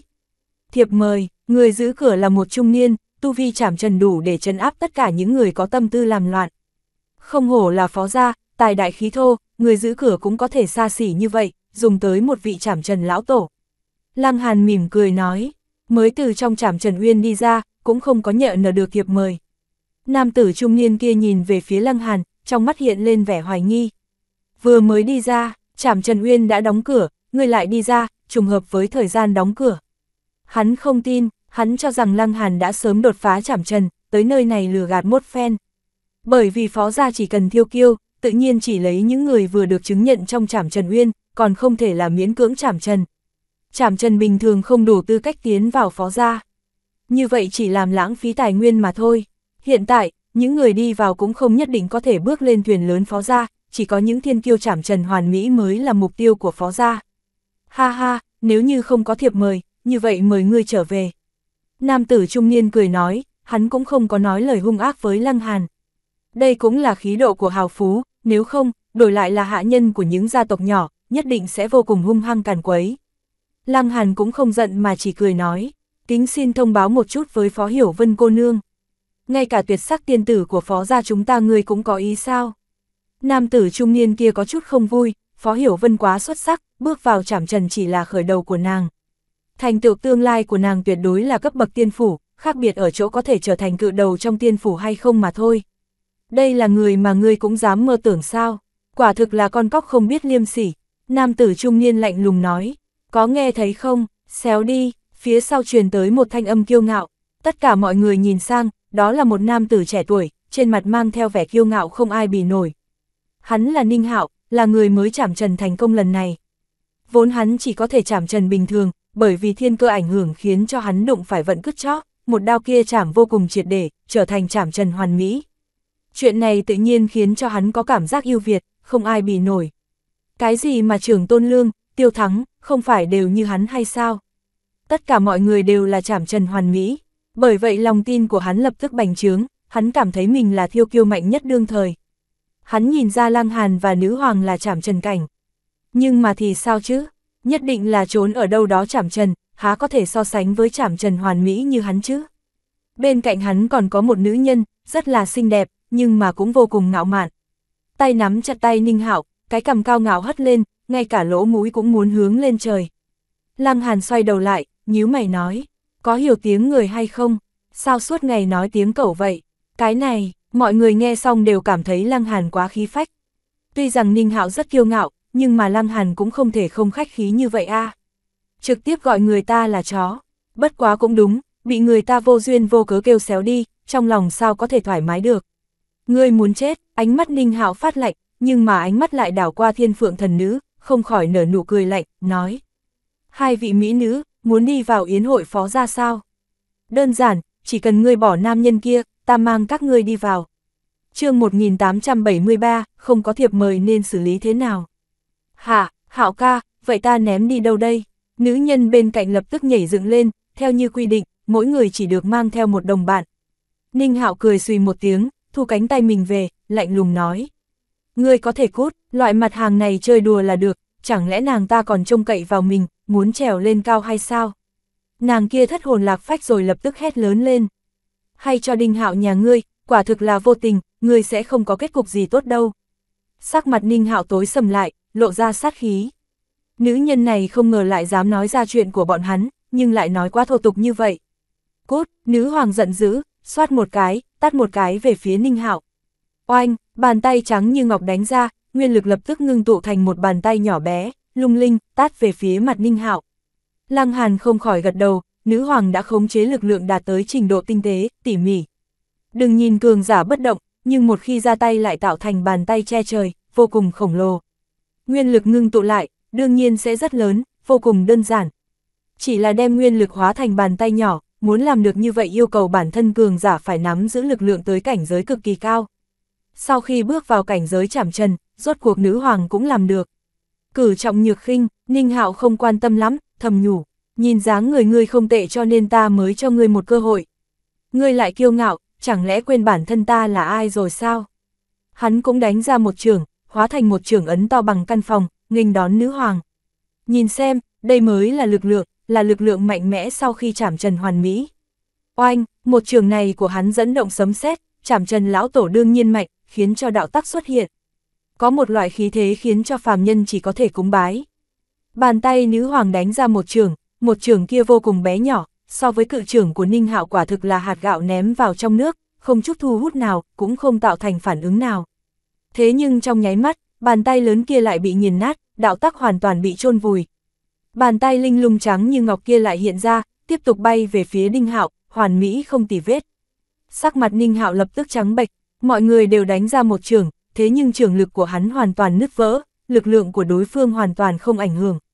Chuyện này còn có thiên lý sao? thực lực sai biệt tới trình độ nào mới tạo thành tình trạng như vậy chứ? Phanh, hắn còn chưa nghĩ xong đã bị một cái tát đập bay ra ngoài, trực tiếp hôn mê. Phi, nữ hoàng đi qua, phun một bãi nước bọt với Đinh Hạo, lúc này mới nghênh ngang rời đi. Lăng Hàn cũng không thèm nhìn, nữ hoàng có thể xưng vương trong nhị trảm, đánh thắng loại mặt hàng này cũng không có gì đáng ngạc nhiên cả. Hắn nhoẻn miệng cười với nam tử trung niên kia, mong hỗ trợ chút, nam tử trung niên kinh ngạc tới ngây người, hắn cũng là nhất trảm, tự nhiên biết rõ Ninh Hạo kia không phải là hàng nhập lậu, thực lực tương đối mạnh. Thế nhưng dù là vậy, đối phương vẫn bị một cái tát trực tiếp đánh bay rồi hôn mê. Hắn vội vàng thay đổi thái độ, ba vị, mời, đối phương chắc không nói sai, quả thực vừa từ trong trảm Trần Uyên đi ra. Bằng không, nếu như không trảm Trần bên trong, thực lực làm sao có thể mạnh như vậy được chứ? Lăng Hàn gật đầu với đối phương, ba người cùng đi qua cửa đá, lập tức, cảnh vật trước mắt biến đổi, ba người đi vào trong một không gian cực lớn, muốn núi có núi, muốn nước có nước, như là một tiểu thế giới vậy. Chỉ nhìn vài lần, Lăng Hàn đã có thể xác định đây tuyệt đối là không gian thần khí dùng một tiêu thế giới làm cơ sở, trực tiếp luyện hóa mà thành. Thủ bút rất lớn, ba vị, mời, bên trong đã có người đợi sẵn, nhìn thấy ba người Lăng Hàn xuất hiện, lập tức làm thủ thế mời.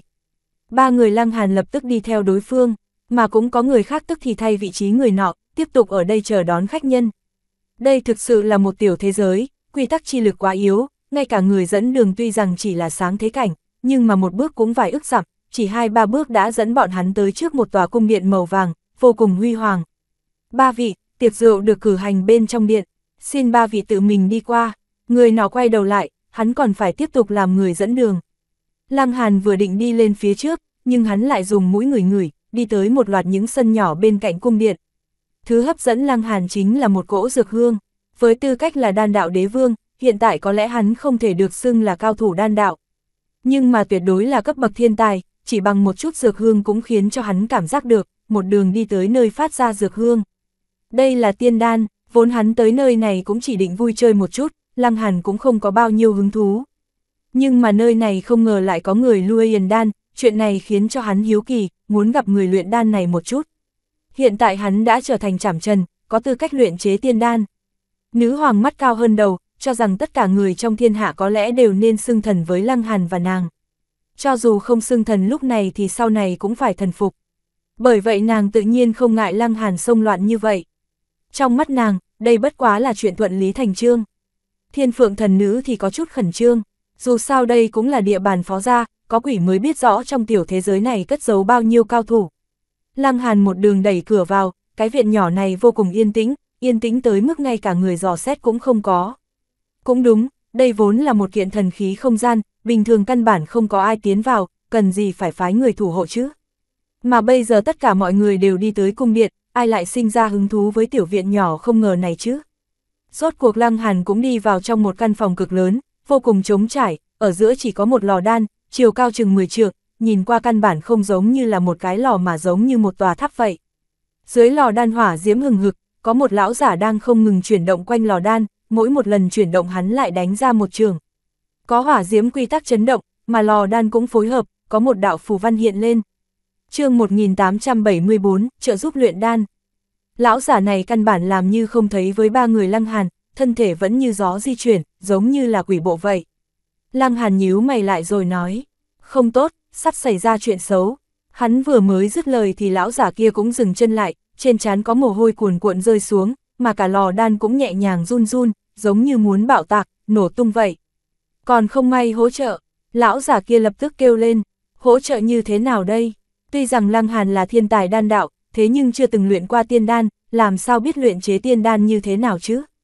Bất quá hắn có thể được xưng là đan đạo đế vương cũng là có thực học, không phải là hư danh. Không biết luyện chế tiên đan như thế nào cũng không thành vấn đề, chỉ cần hắn hiểu rõ động tác của lão giả kia là được rồi. Nói cho cùng, luyện đan chính là khống chế hỏa diễm. Đương nhiên dược lý cũng vô cùng quan trọng, nhưng mà bây giờ cũng không có liên quan tới lăng hàn. Hỏa diễm biến hóa quyết định có thể bị bạo lô hay không. Mà bây giờ lò đan rất có khả năng sẽ bạo lô, đây là chuyện lăng hàn có thể làm được. Hắn chỉ nhìn vài lần rồi lập tức ra tay. Phanh phanh phanh, hắn cũng không ngừng ra tay với lò đan, cửu thiên hỏa xuất động, đây là thứ khiến cho hắn có can đảm, tự tin ra tay. Ngay từ đầu động tác của hắn có chút ngưng trệ, nhưng mà sau đó dần dần quen thuộc hơn, từng chiêu từng thức thể hiện rõ bản lĩnh của hắn. Đây là ngộ tính của đan đạo đế vương, Đương nhiên hiện tại hắn vẫn chỉ đi theo lão giả này, nếu như không có lão giả này dẫn đường, tuyệt đối hắn không thể bước tiếp được. Lão giả kia vô cùng bận rộn, chẳng những muốn điều chỉnh nhiệt độ mà còn phải khiến cho dược liệu tụ tập thành đan, một người ôm quá nhiều việc, có chút lực bất tòng tâm. Bất quá hiện tại có Lăng Hàn hỗ trợ khống chế nhiệt độ, hắn có thể phân ra một bộ phận tinh lực, đi bình phục dược lực sắp bạo phát. Một già một trẻ hết sức chuyên chú, nữ hoàng và thiên phượng thần nữ thì ở bên cạnh chờ đợi, chỉ cần nhìn bộ dáng chuyên tâm của Lăng Hàn, các nàng cũng không có cảm thấy mất kiên nhẫn. Lần bận rộn này trọn vẹn mất nửa ngày, phanh phanh phanh, lão giả này đánh ra 72 trường, lò đan phát ra tiếng ông ông, rung động, hỏa diễm tức thì bị dập tắt. Ha ha ha, lão giả này cười to, tròm dâu run lên, 13 ức năm, 13 ức năm, rốt cuộc lão phu cũng luyện chế xong phong hỏa cửu vân đan, tư đồ lão quỷ, lão phu rốt cuộc cũng siêu việt ngươi. Để xem ngươi còn gì để nói, thành thành thật thật cúi đầu trước lão phu đi a. Hắn cười to một hồi, lúc này mới nhìn qua Lăng Hàn, vẻ mặt vô cùng cổ quái. Ngươi là ai? Lăng Hàn vui vẻ nói. Ngươi không biết ta là ai mà lại dám để cho ta hỗ trợ sao? Lão giả này lập tức há hốc mồm, vẻ mặt khiếp sợ. Lão phu nghĩ ngươi là người nha đầu kia điều tới giúp đỡ, chẳng lẽ ngươi không phải? Nha đầu gì? Lăng Hàn lắc đầu, không phải, lão giả này gãi gãi đầu, lại cười ha hả, sơ sót, sơ sót, cuối cùng lão phu cũng luyện ra phong hỏa cửu vân đan. Tiểu tử, người không biết đan này khó thành thế nào đâu, lão phu sẽ nói với ngươi một chút. Vấn đề làm khó hắn 10 bao ước năm, giờ phút này rốt cuộc cũng luyện thành. Đương nhiên lão giả này vô cùng hưng phấn, tay kéo lấy tay của Lăng Hàn, không quản hắn có nguyện ý hay không, bắt đầu nói một tràng. Hóa ra đây là một tấm đan phương cổ xưa, bởi vì quá lâu mà cũng không quá nguyên vẹn, sau khi bị hắn nắm tới tay, không ngừng thử các biện pháp chữa trị. Từ năm ước năm trước, hắn xác định được cách điều chế hiện tại, nhưng trước đó dù thế nào cũng không thể thành công được. Hắn là hướng nghiêm, người cùng hắn chữa trị đan phương này còn có một người khác gọi là tư đồ đường. Hai người vốn là hảo hiếu, thế nhưng bởi vì chữa trị đan phương có ý kiến khác nhau cho nên nhao nhao vài câu, bắt đầu có oán khí. Bắt đầu tự mình làm việc, đều hy vọng mình có thể thành công. Sau đó đi tới trước mặt đối phương đắc chí một phen. Thưởng thức khoái hoạt khi đối phương cúi đầu nhận thua trước mặt mình. Không thể không nói, làm như vậy rất là trẻ con, thế nhưng nếu không có quái nhân như vậy, sao lại tiêu tốn vài chục ức năm vào luyện đan cơ chứ? Hướng nghiêm vô cùng hưng phấn, không ngờ lại đem đan phương đã được chữa trị nói từ đầu tới cuối cho Lăng Hàn. Loại đan dược này chỉ dùng để chữa thương, bởi vậy đối với cường giả tiên phủ cảnh có công hiệu rất lớn. Bởi vậy hiện tại tấm đan phương này được bổ sung thành công, đồng nghĩa với việc có ý nghĩa vô cùng lớn.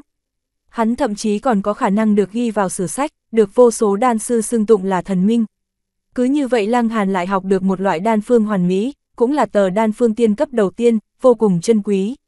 Thấy hướng nghiêm còn hưng phấn nói chuyện không ngừng, dường như sắp nói tới cả cuộc đời trước của mình ra sao. Lăng Hàn vội vàng nói ngừng, lôi kéo hai nữ chạy đi như là trốn. Hướng nghiêm đuổi theo một lúc, nhưng lại lập tức vui vẻ trở về.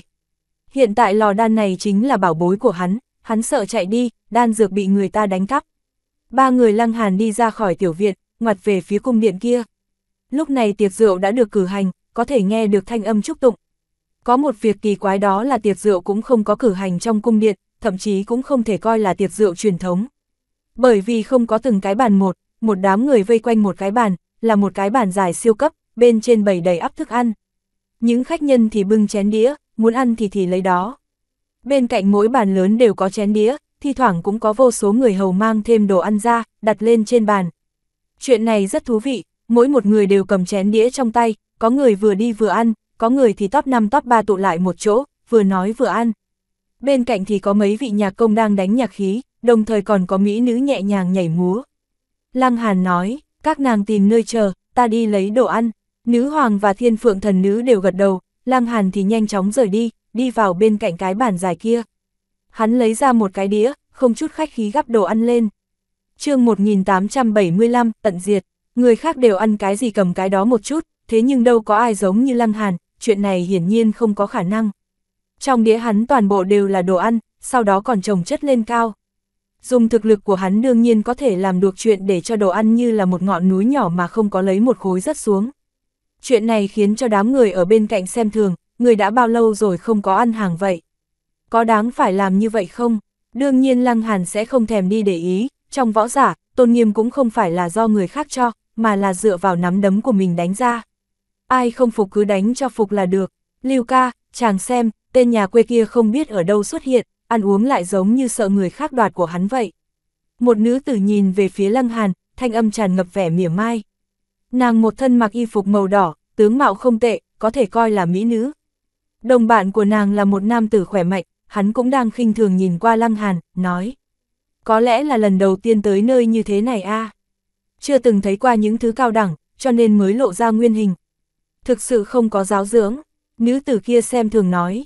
Nàng chỉ là sáng thế cảnh mà thôi, nhưng ỉ vào một gã vừa mới tấn cấp trảm trần cảnh, không ngờ ngay cả trảm trần cảnh chính quy như Lăng Hàn cũng không đặt vào trong mắt.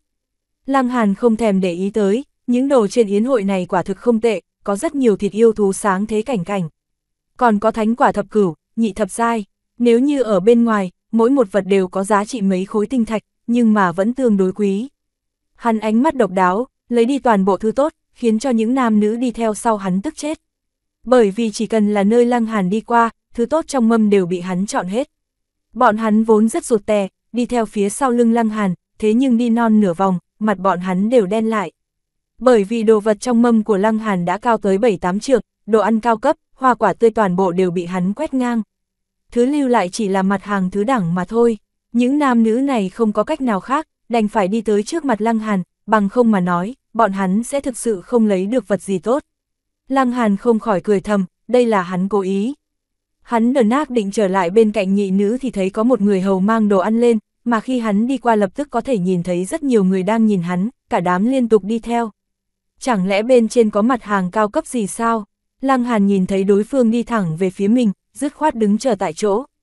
Chỉ thấy người hầu kia đặt một cái nồi đất lên, còn chưa mở ra nắp nồi thì đã thấy có một chút nhiệt khí từ bên trong bốc lên, hóa thành ký hiệu đại đạo. Sách, là thứ tốt, người hầu nói, tiên vân mẫu xâm hầm cách thủy với phượng huyết kê, xin các vị khách quý nhấm nháp. Đây là tiên dược xứng với tiên thú A, đương nhiên tiên vân mẫu xâm chỉ là tiên dược nhất tinh thấp nhất mà thôi. Thế nhưng đối với nhất trảm, nhị trảm mà nói, lại đại bổ tới mức không thể nào hình dung được. Mà phượng huyết kê cũng chỉ là cấp bậc trảm trần, thế nhưng lại hầm cách thủy với tiên dược, công hiệu cả hai cũng được tăng cường trên phương diện nhất định. Khó trách món ăn này vừa mới mang ra đã lập tức có nhiều người chú ý. Có lẽ trước đó đã đại khái nói qua sẽ có món ăn này, cho nên mọi người đều đang đợi. Chỉ trong nháy mắt, sau lưng lăng hàn lập tức có đội ngũ rất dài. Cái nồi đất này có thể chứa bao nhiêu thịt gà, bao nhiêu sâm chứ? Nếu không xếp sớm một chút, sợ rằng ngay cả súp cũng không có mà ăn. Nam nữ trước đó chào phúng lăng hàn cũng đi tới gần, xếp sau lưng lăng hàn, chỉ chờ hắn rời khỏi là có thể tranh ăn trước. Đương nhiên lăng hàn sẽ không khách khí, hắn vươn tay, trực tiếp nhấc cái nồi đất lên đặt vào mâm của mình, sau gió cứ như vậy rời đi. Đi, đi kìa, ngươi, đứng lại, đôi nam nữ này dương nanh múa vuốt, ngươi nha, thực sự là không biết khách khí gì cả. Đây chính là một ngồi đất, tiên thú và tiên dược hầm với nhau, không ngờ ngươi lại muốn lấy hết. Làm gì vậy? Lăng Hàn quay đầu lại, vẻ mặt nở nụ cười vô cùng hòa ái. Nếu như đại hắc cầu ở đây, nhất định sẽ mắt chó chuyển động loạn lên, nói thầm một tiếng, tiểu hàn tử lại đang chuẩn bị làm chuyện xấu. Buông cái nồi xuống, hai người đều quát lên, tuy rằng bọn hắn cũng không muốn nháo sự trên yến hội cao cấp như vậy. Nhưng mà Lăng Hàn thực sự rất quá phận, có người nào làm như người không, để cho người khác ăn không khí sao. Trên đại yến này, cho dù tất cả những đồ ăn khác cộng lại cũng không chân quý, không có giá trị bằng một phần mười nồi súp này. Bọn hắn đợi đã lâu rồi, tiểu tử này cho bọn họ di chuyển, ăn đồ ăn trên bàn, ăn xong mới lại lấy nữa sao? Sai, bọn hắn ăn từng tí một trên bàn này chẳng qua là do ngượng ngùng, không muốn ăn quá rõ ràng, như vậy sẽ bị người ta chê cười. Nhưng mà bây giờ nồi đất này không ngờ lại bị Lăng Hàn lấy hết, đương nhiên bọn hắn cũng không thể xấu hổ nữa. Vì sao vậy? Lăng Hàn ra vẻ vô tội hỏi, ngươi không thể một mình độc chiếm nồi súp này. Đôi nam nữ này kêu lên, người đằng sau cũng liên tục gật đầu, không có ai chơi đùa như ngươi cả. Không phải chỉ là một nồi súp thôi sao? Chẳng lẽ các ngươi chưa từng uống qua? Sao lại gấp gáp như vậy chứ? Lăng Hàn ra vẻ kinh ngạc. Một nồi súp, đó là súp bình thường sao? Tiên dược hầm cách thủy tiên thú A, người thế lực nhất tinh căn bản không có cơ hội ăn vào. Ngay cả như trưởng tôn lương, tiêu thắng, những thiên kiêu chi tử của thế lực nhị tinh cũng phải đợi tới đại thọ lão tổ mới có cơ hội uống một ngụm như vậy. Đương nhiên bọn hắn phải gấp rồi. Buông nồi xuống, nữ tử áo đỏ thét to, vẻ mặt vô cùng dữ tợn. Nàng khát vọng ăn thêm mấy ngụm tiên dược, tiên thú, như vậy có thể khiến cho nàng có cơ hội đột phá chảm chân. Đối với võ giả mà nói, đây là hấp dẫn không có cách nào cự tuyệt được. cũng là truy cầu lớn lao nhất trong nhân sinh. Lăng Hàn nhoẻn miệng cười nói, được, nếu như các ngươi có thể lấy được thì ta sẽ cho các ngươi. Quả nhiên hắn buông nổi xuống, nhưng mà cũng không có rời đi. chương 1876, tán gái như vậy thượng. Vì vậy đôi nam nữ kia lập tức đi lên, vươn tay ra, muốn mở nắp nồi. Nhưng mà tay vừa mới đụng phải đều kêu thảm một tiếng, liên tục buông tay ra. Lùi về phía sau vài ước, lại giơ tay lên xem. Chỉ thấy cái tay bọn họ vừa mới vươn ra đều sưng như móng heo, da rẻ đỏ lên. Có chuyện gì xảy ra? Đám người đằng sau không rõ tình huống cho lắm, cả đám liên tục cảm thấy kỳ quái, có người có chút đề phòng, không dám đi thử. Có một ít người thấy đôi nam nữ này tránh ra thì xông lên, tới sớm ăn sớm, hút thêm mấy ngụm súp cũng tốt. Ai động vào nắp nồi đều dính đòn, có người học khôn, dùng thứ khác để mở nắp nồi ra, thế nhưng đều bị bỏng, căn bản không có một ai mở được nắp nồi, càng không nói tới việc ăn súp. Sau mười mấy người, tất cả mọi người đều dùng ánh mắt kinh nghi bất định nhìn Lăng Hàn, bọn hắn đều đoán ra được đây là Lăng Hàn làm trò quỷ. Thế nhưng cụ thể là gì bọn hắn cũng không nói được rõ ràng. Bọn hắn bắt đầu kính sợ, có người đã đoán ra được có lẽ thực lực của Lăng Hàn vô cùng đáng sợ, cho nên nào dám tranh nữa, liên tục quay đầu rời đi. Lăng Hàn cười ha hả, lần nữa bừng nổi rời đi. Thu hồi cửu thiên hỏa, bắt đầu tìm kiếm nữ hoàng và thiên phượng thần nữ. Đưa mắt quét qua, hắn nhìn thấy nữ hoàng và thiên phượng thần nữ. Chỉ là hiện tại các nàng bị hơn 10 nam nhân vây quanh, nhìn biểu lộ của những nam nhân kia, có lẽ là xung xoe. Không có gì là kỳ quái cả, nữ hoàng căn bản không lộ ra chân dung, thế nhưng chỉ cần bằng vào dáng người hoàn mỹ và khí chất mê người kia cũng đủ để làm cho nam nhân ái mộ. Hiện tại càng tiến vào chảm trần, ai mà không muốn có đạo lữ như vậy chứ? Huynh đệ, người như vậy nào có muội tử nào để ý tới ngươi? Lúc Lăng Hàn tới gần, một nam tử lập tức giữ chặt tay hắn, chỉ chỉ vào đống đồ ăn như núi trên tay hắn.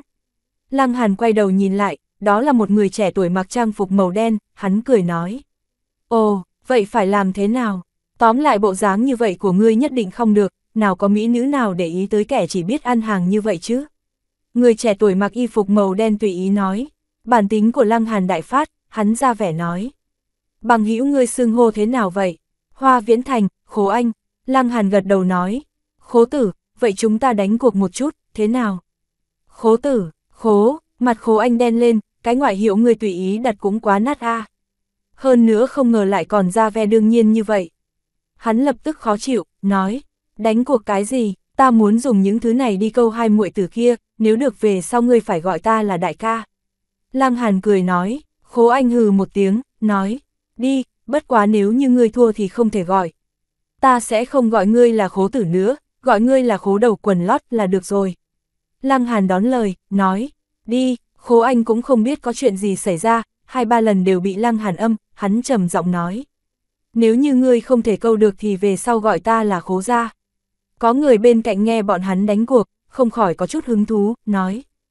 Ta cũng đánh cuộc, người trẻ tuổi ra, tính khí đều như vậy, hơn nữa lần đánh cuộc này tất thắng như vậy. Nhị nữ này, nhất là nữ nhân che mặt kia, dáng người hoàn mỹ, khí chất cao quý tới mức khiến cho người ta không dám tới gần. Người như vậy sẽ chọn một kẻ biết ăn hàng hay sao? Coi như là vậy, đồ ăn ở đây mỗi người đều có thể lấy. Nếu như người có thể dùng những thứ này câu được hai muội tử như vậy, vậy thì tuyệt đối không ai dám đánh cuộc như thế. Uy, ta phải nói trước, là hai nữ nhân kia.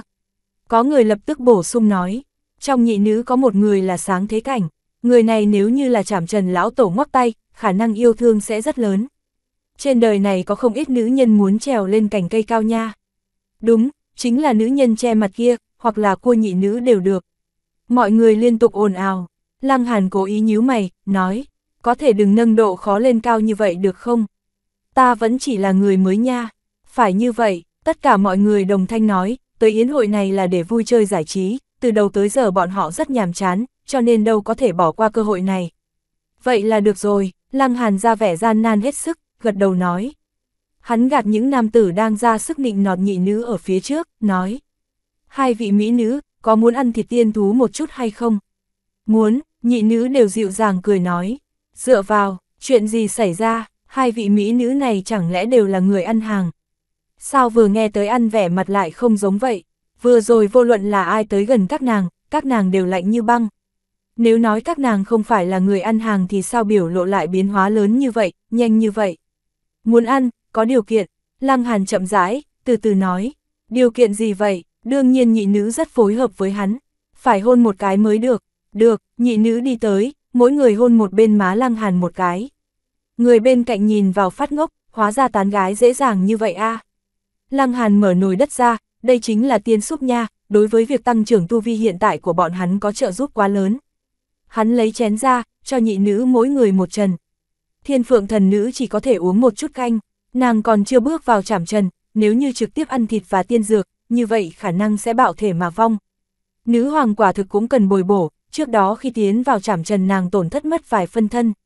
Tuy rằng có thể lần nữa tu luyện lại, nhưng mà tiêu hao rất lớn. Nồi súp này quả thực tới rất đúng lúc, như nắng hạn gặp mưa rào vậy. Vốn Lăng Hàn sẽ không làm tuyệt như vậy, nhưng mà nữ tử của mình là quan trọng nhất, đương nhiên không thể khách khí. Lăng Hàn quay đầu, nhìn về phía mọi người cười nói. Mau gọi ca đi, ca, tất cả mọi người tâm phục khẩu phục, sau đó lập tức quay người bỏ chạy.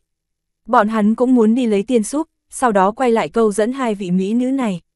Lăng Hàn cười to, thiên phượng thần nữ thì lắc đầu, phu quân này của nàng có đôi khi giống như trẻ con, khiến cho người ta thực sự im lặng. Nữ hoàng thì không thèm để ý, chỉ cần Lăng Hàn thích, cái gì nàng cũng ủng hộ. chương 1877, tán gái như vậy hạ. Bất quá bởi vì tiên súp bị lấy sạch, rất nhiều người đều kháng nghị với Phó Hiểu Vân, cuối cùng Phó Hiểu Vân không thể không một lần nữa phân phó người đi làm thêm một nồi. Dù sao lần này cũng là vì mời chào người ta, không cho ngựa ăn no bụng, sao có thể trông cậy ngựa ra sức chạy nhanh đây. Mà khi nồi tiên súp thứ hai mang tới, chỉ thấy có một đám người ra vẻ dữ tợn, lập tức đánh đập tranh giành nhau. Những người kia đều bị Lăng Hàn lừa gạt, cho rằng chỉ bằng vào một nồi tiên súp là có thể câu dẫn được vưu vật tuyệt sắc như nữ hoàng. Vì nữ hoàng đại nhân, đương nhiên bọn hắn phải liều rồi. Những người này đều là người trẻ tuổi, khí thịnh, không bao lâu đã giận dữ thực sự. Tiếng đánh nhau vang vọng không ngớt, thực sự tạo thành một mảnh hỗn loạn. Hai nàng xem ta, Lăng Hàn kéo nhị nữ lùi qua một bên trước, sau đó chạy tới chiến trường, gia nhập chiến đoàn, một lúc sau hắn lại đi ra, trong tay nâng một nồi đất, đây không phải là nồi súp thì là nồi gì. Hắn và nữ hoàng lại vui vẻ nhấm nháp, thiên phượng thần nữ thì không thể tiếp tục ăn nữa. Hiện tại nàng đã là sáng thế cảnh đỉnh phong, thế nhưng nếu chưa chảm trần, cũng chỉ có thể tăng số lượng tinh thần lên một cách vô hạn mà thôi. Đại chiến rất lâu, lại là Bắc Huyền Minh tự mình ra tay, lúc này mới chân áp được đám đông. Vương giả nhị trảm đương nhiên thuộc hàng châu bò, sắc mặt hắn rất âm trầm, hỏi rõ mọi người, không ngờ lại dám đánh nhau ở trên tiệc của phó gia, đám người này chán sống sao. Súp đâu rồi, có người nhanh chóng phát hiện ra tiên súp không còn, lập tức kêu lớn. Mọi người nhìn qua, lập tức kêu lên, vừa rồi bọn hắn đánh thành một đoàn còn không phải là vì nồi tiên súp kia sao. Hiện tại nồi tiên súp lại không cánh mà bay, chuyện này bảo sao không khiến cho bọn hắn kêu như chết cha chết mẹ chứ. Lăng Hàn vui vẻ uống súp, không hề có chút trột dạ nào. Phu quân, dường như nơi nào chàng tới, không có một chỗ nào bình an, tuyệt đối là gà bay chó chạy.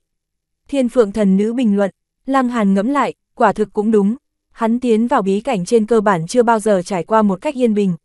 Nhìn mà xem, chảm Trần Uyên hắn phát hiện ra một cỗ thi thể tiên vương, còn thiên địa mẫu thủy, một phần bí pháp hạch tâm tiên vương.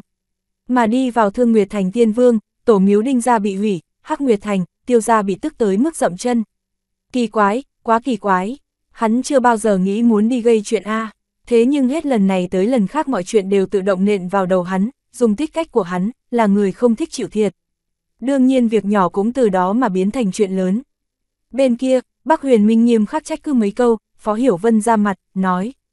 Kế tiếp còn có một ít khảo thí, người thành công vượt qua là có thể gia nhập phó gia.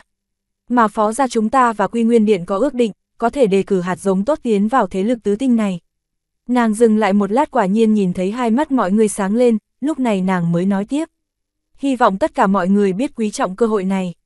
Quần chúng kích động, đừng nói là Quy Nguyên Điện, chỉ cần có thể gia nhập phó gia đã là vinh quang vô thượng rồi. Đối với nhất trảm mà nói, thế lực tam tinh như là trăng sáng trên bầu trời, xa tới mức căn bản không thể chạm tới. Xin hỏi phó tiên tử, khảo thí này như thế nào? Đợi chút nữa chúng ta sẽ đi tới một sơn lâm, mà thứ mọi người cần làm kỳ thực rất đơn giản, trong vòng 10 ngày bay qua núi, đi tới bên kia là được.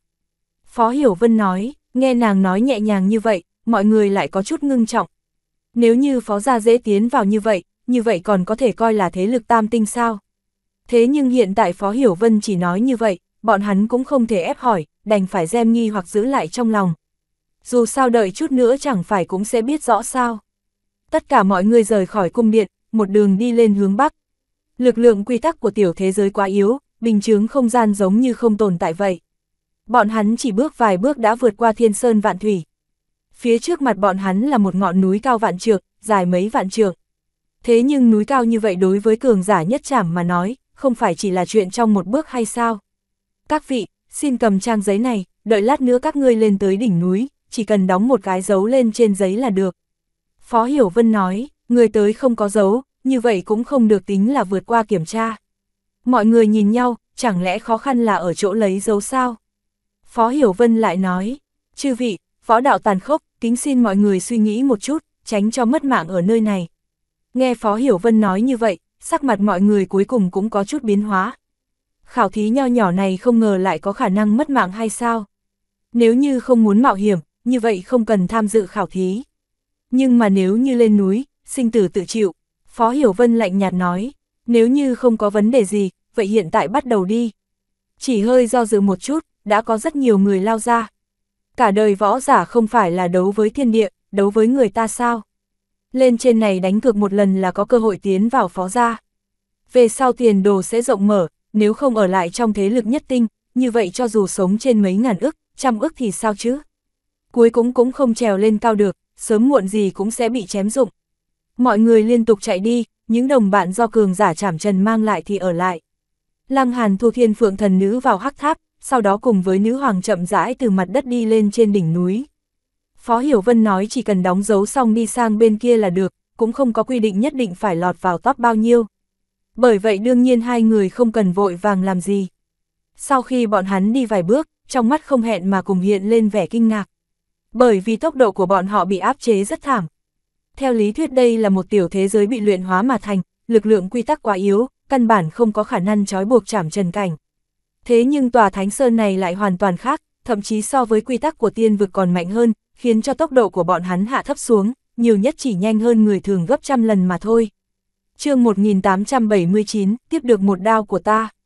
Đối với cường giả chảm trần cảnh mà nói, chậm như vậy không hợp thói thường A. Trọng lực thật cường đại, hơn nữa không khí cũng vô cùng dính, tràn ngập thứ gì đó, giống như là đầm lầy, làm hạn chế tốc độ rất nhiều. Lăng Hàn phân tích, bất quá nếu như hắn thi triển khai điện thiểm tự nghĩ ra, tốc độ vẫn có thể bộc phát ra rất nhanh. Nữ hoàng gật đầu, nhưng cũng không sợ hãi chút nào. Phó gia hạ khảo nghiệm như vậy là vì muốn thu nhận nhân tài, mà không phải là giết chết nhân tài. Bởi vậy khảo nghiệm này chảm trần hoàn mỹ tất sẽ thông qua. Lăng Hàn và nữ hoàng lại là chảm thiên địa thành dạo, lại là hoàn mỹ, thực lực có thể nghiền áp nhị chảm thông qua đây chẳng phải là chuyện vô cùng đơn giản hay sao. Hai người vừa đi, một mặt nghiên cứu, thảo luận võ đạo. Lăng Hàn đem bí pháp của vạn thú tiên vương truyền cho nữ hoàng. Hắn vô cùng chờ mong, nếu như mỗi một phân thân của nữ hoàng đều có thể tu ra 10 chiến thú, như vậy về sau nữ hoàng giao thủ với người ta, triệu hồi ra 9 phân thân, trăm chiến thú, đội hình này quả thực có chút dọa người A. Hai người đều là thiên tài võ đạo, tuy rằng tiên vương pháp vô cùng khó nắm giữ, lý giải. Thế nhưng khi bọn hắn nghiên cứu, thảo luận, vẫn gỡ rối từng chút một được, thậm chí còn lần ra đầu mối. Bọn hắn đều có nắm giữ, nhưng mà so với tiên vương pháp chính thức vẫn chỉ là một góc của núi băng mà thôi. Dừng lại, lúc bọn hắn đờn ác nói thì phía trước đột nhiên xuất hiện một người, một thân y phục nhìn qua giống như là một thị vệ, trong tay nắm lấy một thanh đại đao. Muốn tiến lên bước nữa thì phải tiếp của ta một đao. Lăng Hàn nói, nếu không tiếp được thì sao? Vậy thì cũng chỉ có thể để mặc cho số phận mà thôi. Nam tử mặc trang phục thị vệ này nói, sau đó lại nói thêm một câu. Ta sẽ cố gắng hạ thủ lưu tình, không làm tổn thương tới tính mạng các ngươi. Ồ, khó trách Phó Hiểu Vân lại nói thêm một câu, hóa ra khảo nghiệm là như vậy. Lăng Hàn nhoẻn miệng cười nói, ta có thể đoạt công không? Nam tử kia khẽ giật mình, sau đó cười lớn, nói. Ngươi là người thứ bảy hỏi ta vấn đề này, không tệ, không tệ. Đầu óc rất sống động, linh hoạt, có thể đoạt công, nhưng nếu như ngươi đoạt công thì ta sẽ ra tay, lực phòng ngự của ngươi lại giảm, khả năng tiếp được một đao của ta lại càng nhỏ. Ngươi là nhị trảm sao? Lăng Hàn đột nhiên hỏi, nam tử kia cũng không cảm thấy kỳ quái, chỉ nói. Không sai, ta là nhị trảm, bất quá ngươi không cần lo lắng, ta sẽ không dùng toàn bộ lực lượng, sẽ khống chế ở cấp độ nhất trảm, chỉ cần ngươi là trảm trần bình thường, ít nhất có thể toàn thân trở ra dưới một đao của ta. Lăng Hàn cười cười, nói, ta không lo lắng, thế nhưng ta lại lo lắng thay cho ngươi a. Ngươi lo lắng cái gì? Nam tử kia kỳ quái hỏi, nữ hoàng đột nhiên ra tay, một trường đập về phía nam tử kia, oanh một cái, trong lòng bàn tay nàng hiện ra một mặt trời, mặt trăng và ngôi sao, một mảnh đại đạo dài hẹp hiển hiện, lực lượng quy tắc nhộn nhạo, giống như là một nữ đế vô thượng giá lâm vậy. Nam tử kia quá sợ hãi, theo bản năng muốn vùng đao lên đón đánh, nhưng mà lại có chút do dự.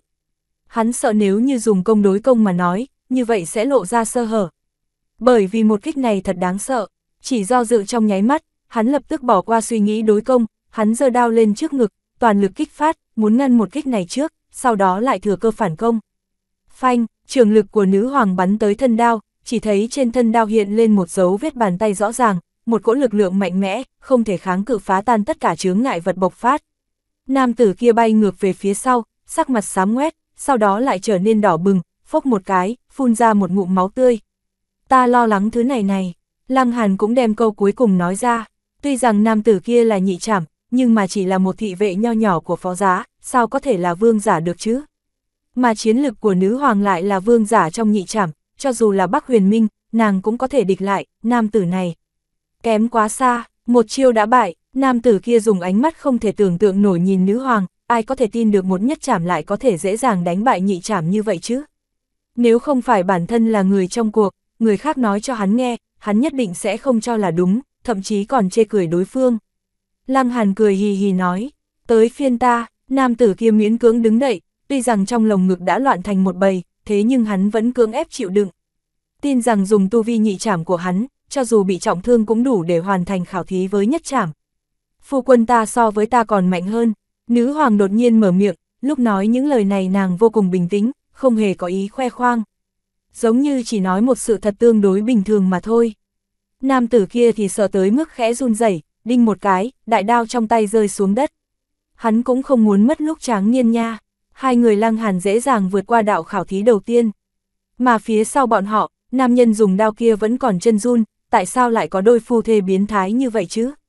Nhưng hắn là nhị trảm A, nhị trảm lão tổ không ngờ lại bị hai người vừa mới tấn chức trảm trần làm sợ tới mức rơi mất đao. Có thể thấy được đôi phu thê này đáng sợ như thế nào chứ? Tốt nhất là vĩnh viễn không gặp bọn hắn là tốt nhất. Lăng Hàn và Nữ Hoàng tiếp tục thảo luận tới thập thú thuật của vạn thú tiên vương, Lăng Hàn cũng không có được tiên thuật nguyên vẹn. Nhưng mà bí mật hạch tâm lại có không ít, mà thứ có thể được bọn hắn để vào trong mắt cũng chỉ là bộ phận hạch tâm ngưng hóa 10 đầu chiến thú mà thôi. Bọn hắn ai mà không có công pháp tu luyện tới tiên vương chứ? Hai người một mặt uống luân hồi trà, một mặt tiến hành nghiên cứu thảo luận. Lúc hào hứng còn có thể luận bàn một chút, căn bản không thèm để ý tới việc đi nhanh hay chậm. Bất quá nửa ngày sau, rốt cuộc bọn hắn cũng đi khảo nghiệm thứ hai. Chỗ đó có một đống lớn người tụ tập, rõ ràng không phải là đang chiến đấu mà đang đánh cờ. Cờ vây, Lăng Hàn chỉ quét mắt một vòng đã phát hiện ra đây không phải là cờ vây tầm thường, quân đen quân trắng dường như có sinh mạng, đều tản mát ra sát ý vô cùng, đặt xuống là tử, bị ăn cũng tử, sát cơ lan tràn, người ý chí không kiên định nhìn vào thậm chí còn bị sụp đổ.